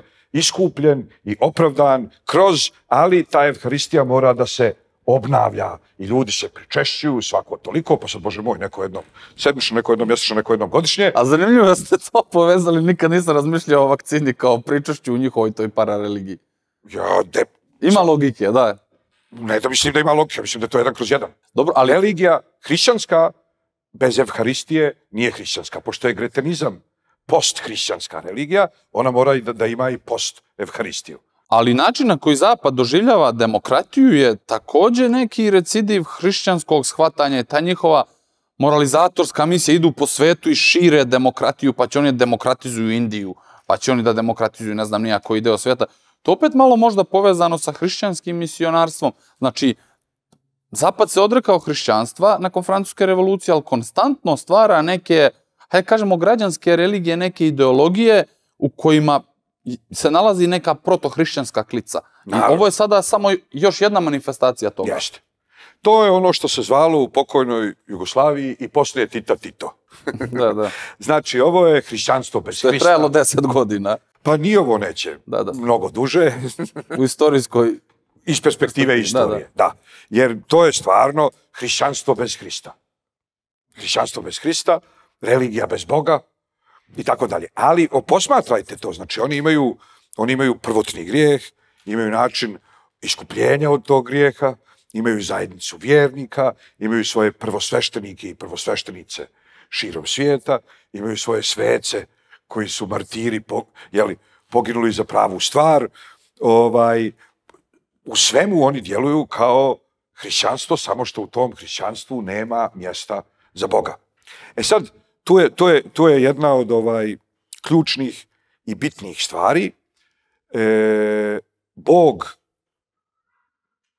Čovjek je, kao što smo rekli, iz perspektive tradicionalnog judaizma, čovjek je znači ovaj, var, variabila koja ima sposobnost za sozercavanje ili kontemplaciju konstante.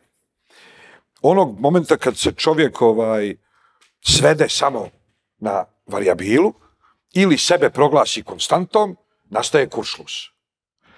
Bog je zapravo individualno, ne, ne mislim da je Bog zapravo to, nego način na koji mi doživljavamo Boga je kao ogledalo individualno, u kome se svako od nas ogleda. Bez tog ogledala ne postoji, ne postoji taj proces, nego ili smo u predprocesnoj fazi krave, ili smo u post, ili smo u iluziji, utopiji postprocesnog bogootvorenja, bogoostvarenja, ili bogootvorenja u smislu da se čovjek otvorio kao bog. E sad, gretenizam Nije gretenizam religija bez Boga. Gretenizam vjeruje da je svaki čovjek Bog. Da, pa dobro. I zbog toga je bespolan. I zbog toga je genderless. I zbog toga je nerodan, jer je Bog. Da. I to je aspekt. Kao Evharistija, samo što ljudi ne vole da o tome razmišljaju. Evo, privodimo polako emisiju u kraju, ali uh, vi ste rabin.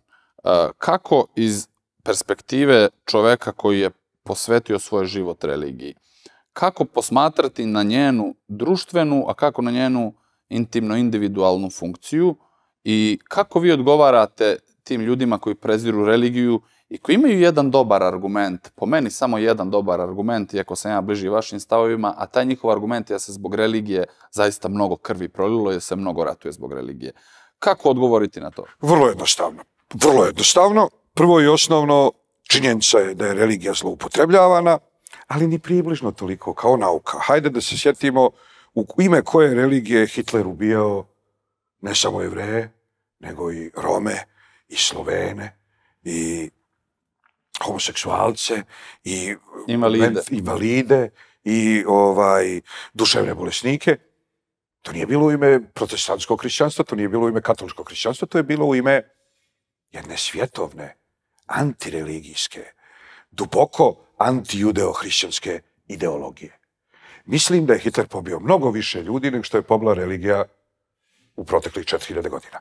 A onda, premda ja ne volim da poredim njih dvojicu, znači prazno mjesto, pa još jednom Hitler, pa prazno mjesto, pa još jednom Hitler, pa sedam praznih mjesta, pa Stalin. Ali ni Stalin nije bio rukovođen pravoslavljem, još manje je bio rukovođen e, judaizmom istočne Evrope, još jedna ideologija koja je pobila mnogo više ljudi ne, i tako dalje. E sad, sve može da se zloupotrebi, pa može i nauka. E, rasni antisemitizam njemački je bio zloupotreba nauke. E, I tako dalje. Religija, e sad ovako, da li čovjek može da bude moralan bez religije? Naravno da može. Da li postoji čitav niz moralnih ljudi koji, koji, koji, u čijem učenju i blagotvornom utjecaju sam bio izložen, a nisu bili religiozni? Da. Da li su bili visoko moralni? Jesu Da li među religioznim ljudima postoje nemoralni ljudi? Da. Da li postoje visoko nemoralni ljudi? Da. Pa koji ćemo onda džavo religije? E, to nije pitanje, to nije pitanje utilitarnog. To nije pitanje utilitarnog. Znači, ja ne prodajem religiju kao lijek koji nije savršeno uspješan, ali je uspješniji od nekog drugog. Pa kao bolje ti je to, jer bez toga ide to. Ne. Religija je ili odnos sa živim Bogom, ili viš kući propalo. Znači, ili čovjek i se upoznao s Bogom i s njim je u odnosu. E sad, ako ste s nekim u odnosu, vi možete da ga volite, možete da se posveđate, možete da trenutno ne govorite. Ali vam niko ne može doći i reći, on ne postoji. Halo, čovječe, mi ne govorimo od jutros. Da. Ali se znamo. Ili, mi, a, danas nam je najljepši dan u istoriji bio. Ali vi, ti si u saodnosu. Drugim riječima, šta hoću da kažem? Ovaj, ja ne volim da svodim religiju na, na utilitarne, e, neću da kažem čak ni nivoje, nego nizine. Jer to je svođenje na nizine. Jer kao pote prve šta onda? Ispadne da je religija jedna vrsta jeftinog psihologa. E, jedna vrsta e, live kauča da se da posegnem za engleskim koji omladno danas govori. Znači, s religijom je lakše živjeti. Ne. Kad bi to bilo to, onda to je zapadni odnos prema religiji. Da. Dajte mi dvije kile judaizma, pet, pet, ovaj, pet kila šamanizma, tri kile budizma, e, izvadite žlipe, e, sad mi umjesto tih budističkih žlipa, Ali e, i ovo je jako zanimljivo, recimo. E, Znate li za knjigu, znate sigurno knjigu Pokoravanje Mišela Uelbeka? da, E, Jedan uh, docent na pravnom fakultetu u Beogradu je tada napisao recenziju i on kaže da je Uelbek na taj zapadni relativizam, koji vi sad pominjete, religijski, odgovorio još većim relativizmom. Pa ako je sve svejedno, što onda ne bi mogao čovjek iz muslimanskog bratstva da vodi Francusku? E onda vi odjednom vidite da nije baš sve toliko svejedno i da to ne bi baš moglo tako lako da se zamisli, bar u ovom trenutku, u, ovom momentu istorije. Lakše je zamisliti, izvinite, čovjeka koji je iz hinduističke religije na čelu, recimo, Velike Britanije, ali baš da musliman vodi Francusku ili Nemačku i to neko ko je baš posvećen islamu, čak u ideološkom smislu, to je možda malo teže zamisliti. Znači, taj relativizam ipak ima neku granicu. Slažete? slažem se da relativizam ima granicu. E, prvo i osnovno, postoje neka kulturološka uslovljavanja. Znači, Francuzi vam mrtvi hladni i punih usta kažu kako su oni sekularna država u kojoj su država i religija razdvojeni. I ti im onda kažeš, e, jedno pitanje, što slavite Božić? Ja kažu, pa dobro, Bože moj, to je tradicionalno. Pa ne slave svi, mislim. Ne, ne, ne, 25. decembra se ne radi. To A ne radi se, ne Pa radi. ne radni dan. E, to čak nisam ni znao. Da. Zanimljivo, da. E, onda nova godina, oni kažu, kakve nove godine ima veze sa hrišćanstvom, to je internacionalni praznik. Ja kažem, to se vi zanosite. Dobro, kalendarski to može se opravdati. Ne može. To je katolička nova godina. Ima pravoslavna, ima jevrejska, ima muslimanska. To nije nikakav internacionalni praznik. Pa dobro, evo i u Srbiji se, mislim... Pa to, a bože moj, to što se nešto radi u Srbiji. Ali kalendar koristimo taj, prosto. Da, ali to je dan obrazivanja Hristovog po katoličkom kalendaru, obrazanje gospodnje. Osam dana nakon Božića. Zašto bi to bila internacionalna nova godina? Da, razumem vas, da. Da. E sad, ova, internacionalna nova godina nek bude 1. juna. Ne može katoličko biti internacionalno. Internacionalno treba da bude kao što su komunisti dobro govorili u Bosni i Hercegovini. Bosna i, Bosna i Hercegovina nije srpska i nije hrvatska i nije muslimanska, nego je i srpska i hrvatska i muslimanska. Da bi bila i srpska i hrvatska i muslimanska, ona ne smije da bude prvenstveno srpska ili prvenstveno hrvatska ili prvenstveno muslimanska. E sad, ako ima, imate želju da imamo neki praznik koji svi slavimo, imate želju da imamo kalendar koji je zajednički, super, ajmo se dogovoriti. 1. juna. Ajmo izmisliti potpuno druge mjesece. Ali ne može već postojeći katolički praznik e, u ime Oca, Sina i Duha Svetog postati Da. sekularni praznik. To ne ide. Na tome najviše muslimani insistiraju čak i u Srbiji, oni baš ne vole da slave tu novu godinu. U Novom pazaru uvek nema ni ovaj nekih uh, aktivnosti, nego se obično pošalju humanitarne svrhe i tako dalje. Ali evo, kad već... Ali, izvini, molim te, samo sekundu. Neš, ima jedna interesantna stvar. Nisu Francuzi potpuno nedosljedni. Znači, jest Božić 25. decembra, jest Nova godina 1. januara i tako dalje, ali recimo, oni imaju e, raspust u školama sve, sve svete. Ali ne odlučuje crkva kad su svi sveti, nego odlučuje, nego odlučuje ministarstvo kulture. Tako da je vrlo često onaj raspust koji se zove raspust svi sveti, on pada kad ministarstvo prosvete odluči, on se samo zove. A da li je moguće da u Francuskoj postoji raspust svih, zbog praznika svih svetih? Meni zato što, to potpuno nevrovatno zvuči. Zato što je tradicionalno škola se raspuštala te nedelje. To je zvao raspust svih svetih. Umeđu vremenu je napravljena revolucija, di, di, di, di, a raspust je ostao raspust. Preživeo, da. E sad, za Božić država se nikad nije upetljala da kaže nam ne odgovara da je Božićni raspust 5. decembra, ajmo Božićni raspust u martu. Ali za sve svete, država su, kaže, boli nas uvo što crkva nama će sve sveti raspust biti 15 dana prije svih svetih ili 7 dana iza, nebitno, jer je nama bitno kad smo završili koju jedinicu, u kom semestru, trimestru i tako dalje. Tako da, što se tiče svih svetih, tu su stvarno ostvarili ono o čemu oni govore. Ovo je samo po imenu. A inače, ali Božić nije samo po imenu, to je datum, to je to. Da završimo emisiju sa jednim lokalnim pitanjem ili pitanjem lokalnog tipa. Pominjali ste tu netrpeljivost koja je postojala istorijski u srpskom narodu prema bošnjacima, postoji u Gorskom vjencu, sve, i svi znamo taj istorijski kontekst, znamo i kako je to sve nastalo zbog turskih zločina ovde i tako dalje. Međutim, utisak je da u 20. veku da je to ipak oslavilo i zbog tih ratova sa Austrugarima i zbog tog iskustva sa Hrvatima i zbog problema sa Albancima, nekako u srpskom narodu više nije primaran uopšte odnos prema bošnjacima.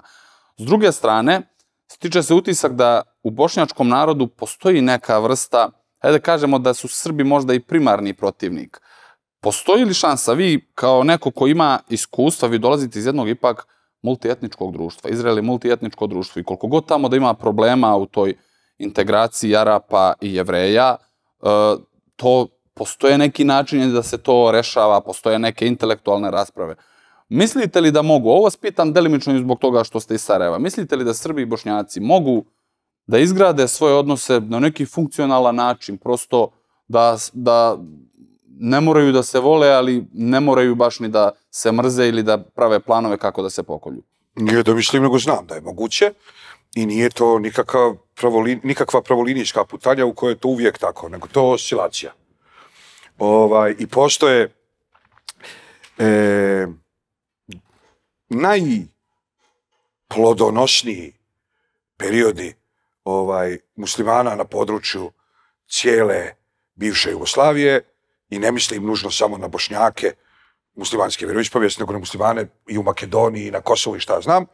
Ovaj, a posebno ako govorimo o bošnjacima i recimo Srbima, najplodonosniji momenti su momenti saradnje između Srba i Bošnjaka upravo.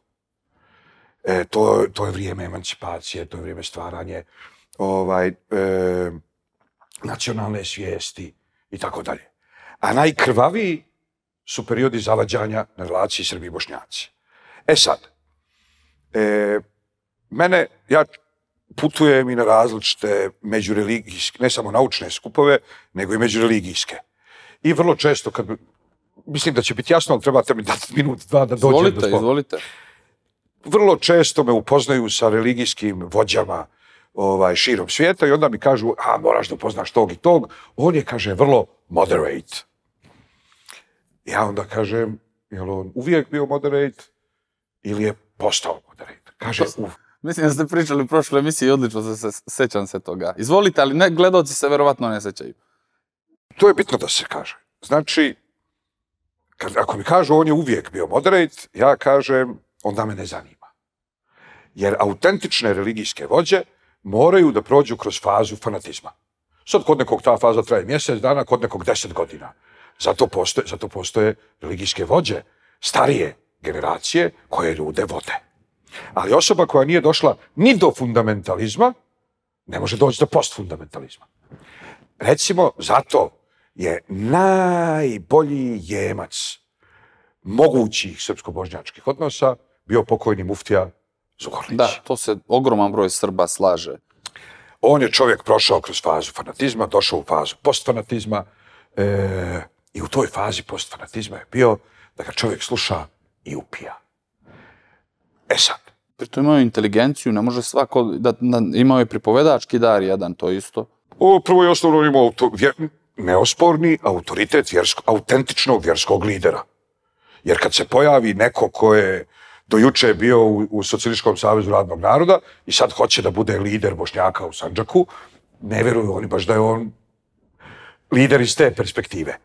Ali ovaj autentični unuk jednog, unuk jednog imama, muftija i tako dalje. I imao je autentičnu fundamentalističku fazu. I prošao je kroz tu fazu i postao stvarno ono što bi jednom kultivisanom društvu trebalo da bude e, zapravo norma. Trebalo bi da bude norma, da sveštenstvo nižih rangova je ovo sveštenstvo koje još uvijek kuburi sa malim bognjama, šarlahom, krzamakom i fanatizmom, a da visoko rangirani sveštenici ti koji su to već sve izživjeli. Da li je moguće? Naravno da je moguće. Kad će postati stvarnost? Kad budemo imali deset mufti. E sad, sad vi možete da se začudite i možete da mi kažete e, zašto to mora da dođe sa vjerske strane. Mora. Mora da dođe sa vjerske strane da bi bilo Primarni utemeljeno. identitet je ipak verski na Balkanu. Upravo to. Da bi nešto bilo utemeljeno, da bi imalo pe, pečat metafizički, ono mora, kad budemo imali, znači, deset episkopa i deset e, muftija tipa e, Zukorlića, stvar će izgledati drugačije. Trenutno, trenutno je to što je, da ne ulazi. Da. Hvala vam puno na ovoj emisiji. Nadam se da vas nismo previše iscrpeli, izmorili u intelektualnom smislu. Bila je meni lično jako zanimljiva emisija i dosta sam naučio. Hvala vam na prilici i uvijek je zadovoljstvo. U stvari, ja malo ti, malo vi. A sad je ovo vrijeme za ti. Uvijek je zadovoljstvo pričati s tobom i ovaj... E, prvi put, znaš kako kaže narod, prvi se mačići u vodu bacaju. ovaj, bilo je meni ugodno i u onoj prvoj emisiji, ali nekako je, nekako je bila neka... Ovaj, Upoznavanje. upoznavanje, jeste, da. ispipavanje. Da, da. A sad mi je baš onako bilo prvo im- i osnovno imam osjećaj kao da smo pričali 10 minuta, Da, da. a drugo baš imam osjećaj da je kamera apsolutno nebitna. Znači, stvarno je Tako je. dijalog. Tako je. Što kažu u, jel to u Americi kažu, it flows both, both ways. E, isti, isti utisak sam imao zaista i eto, drago mi je da, da se u tom smislu slažemo. Poštovani gledaoci, bio je to Jelijezer Papo, Jelijezer izvedeni, o, to bi po, na srpskom bilo Lazar, objašnjeno je u prošloj emisiji. Hvala vam što gledate Novi standard, možete nas naći na domenu www.standard.rs. Do sljedećeg gledanja, prijatan ostatak dana.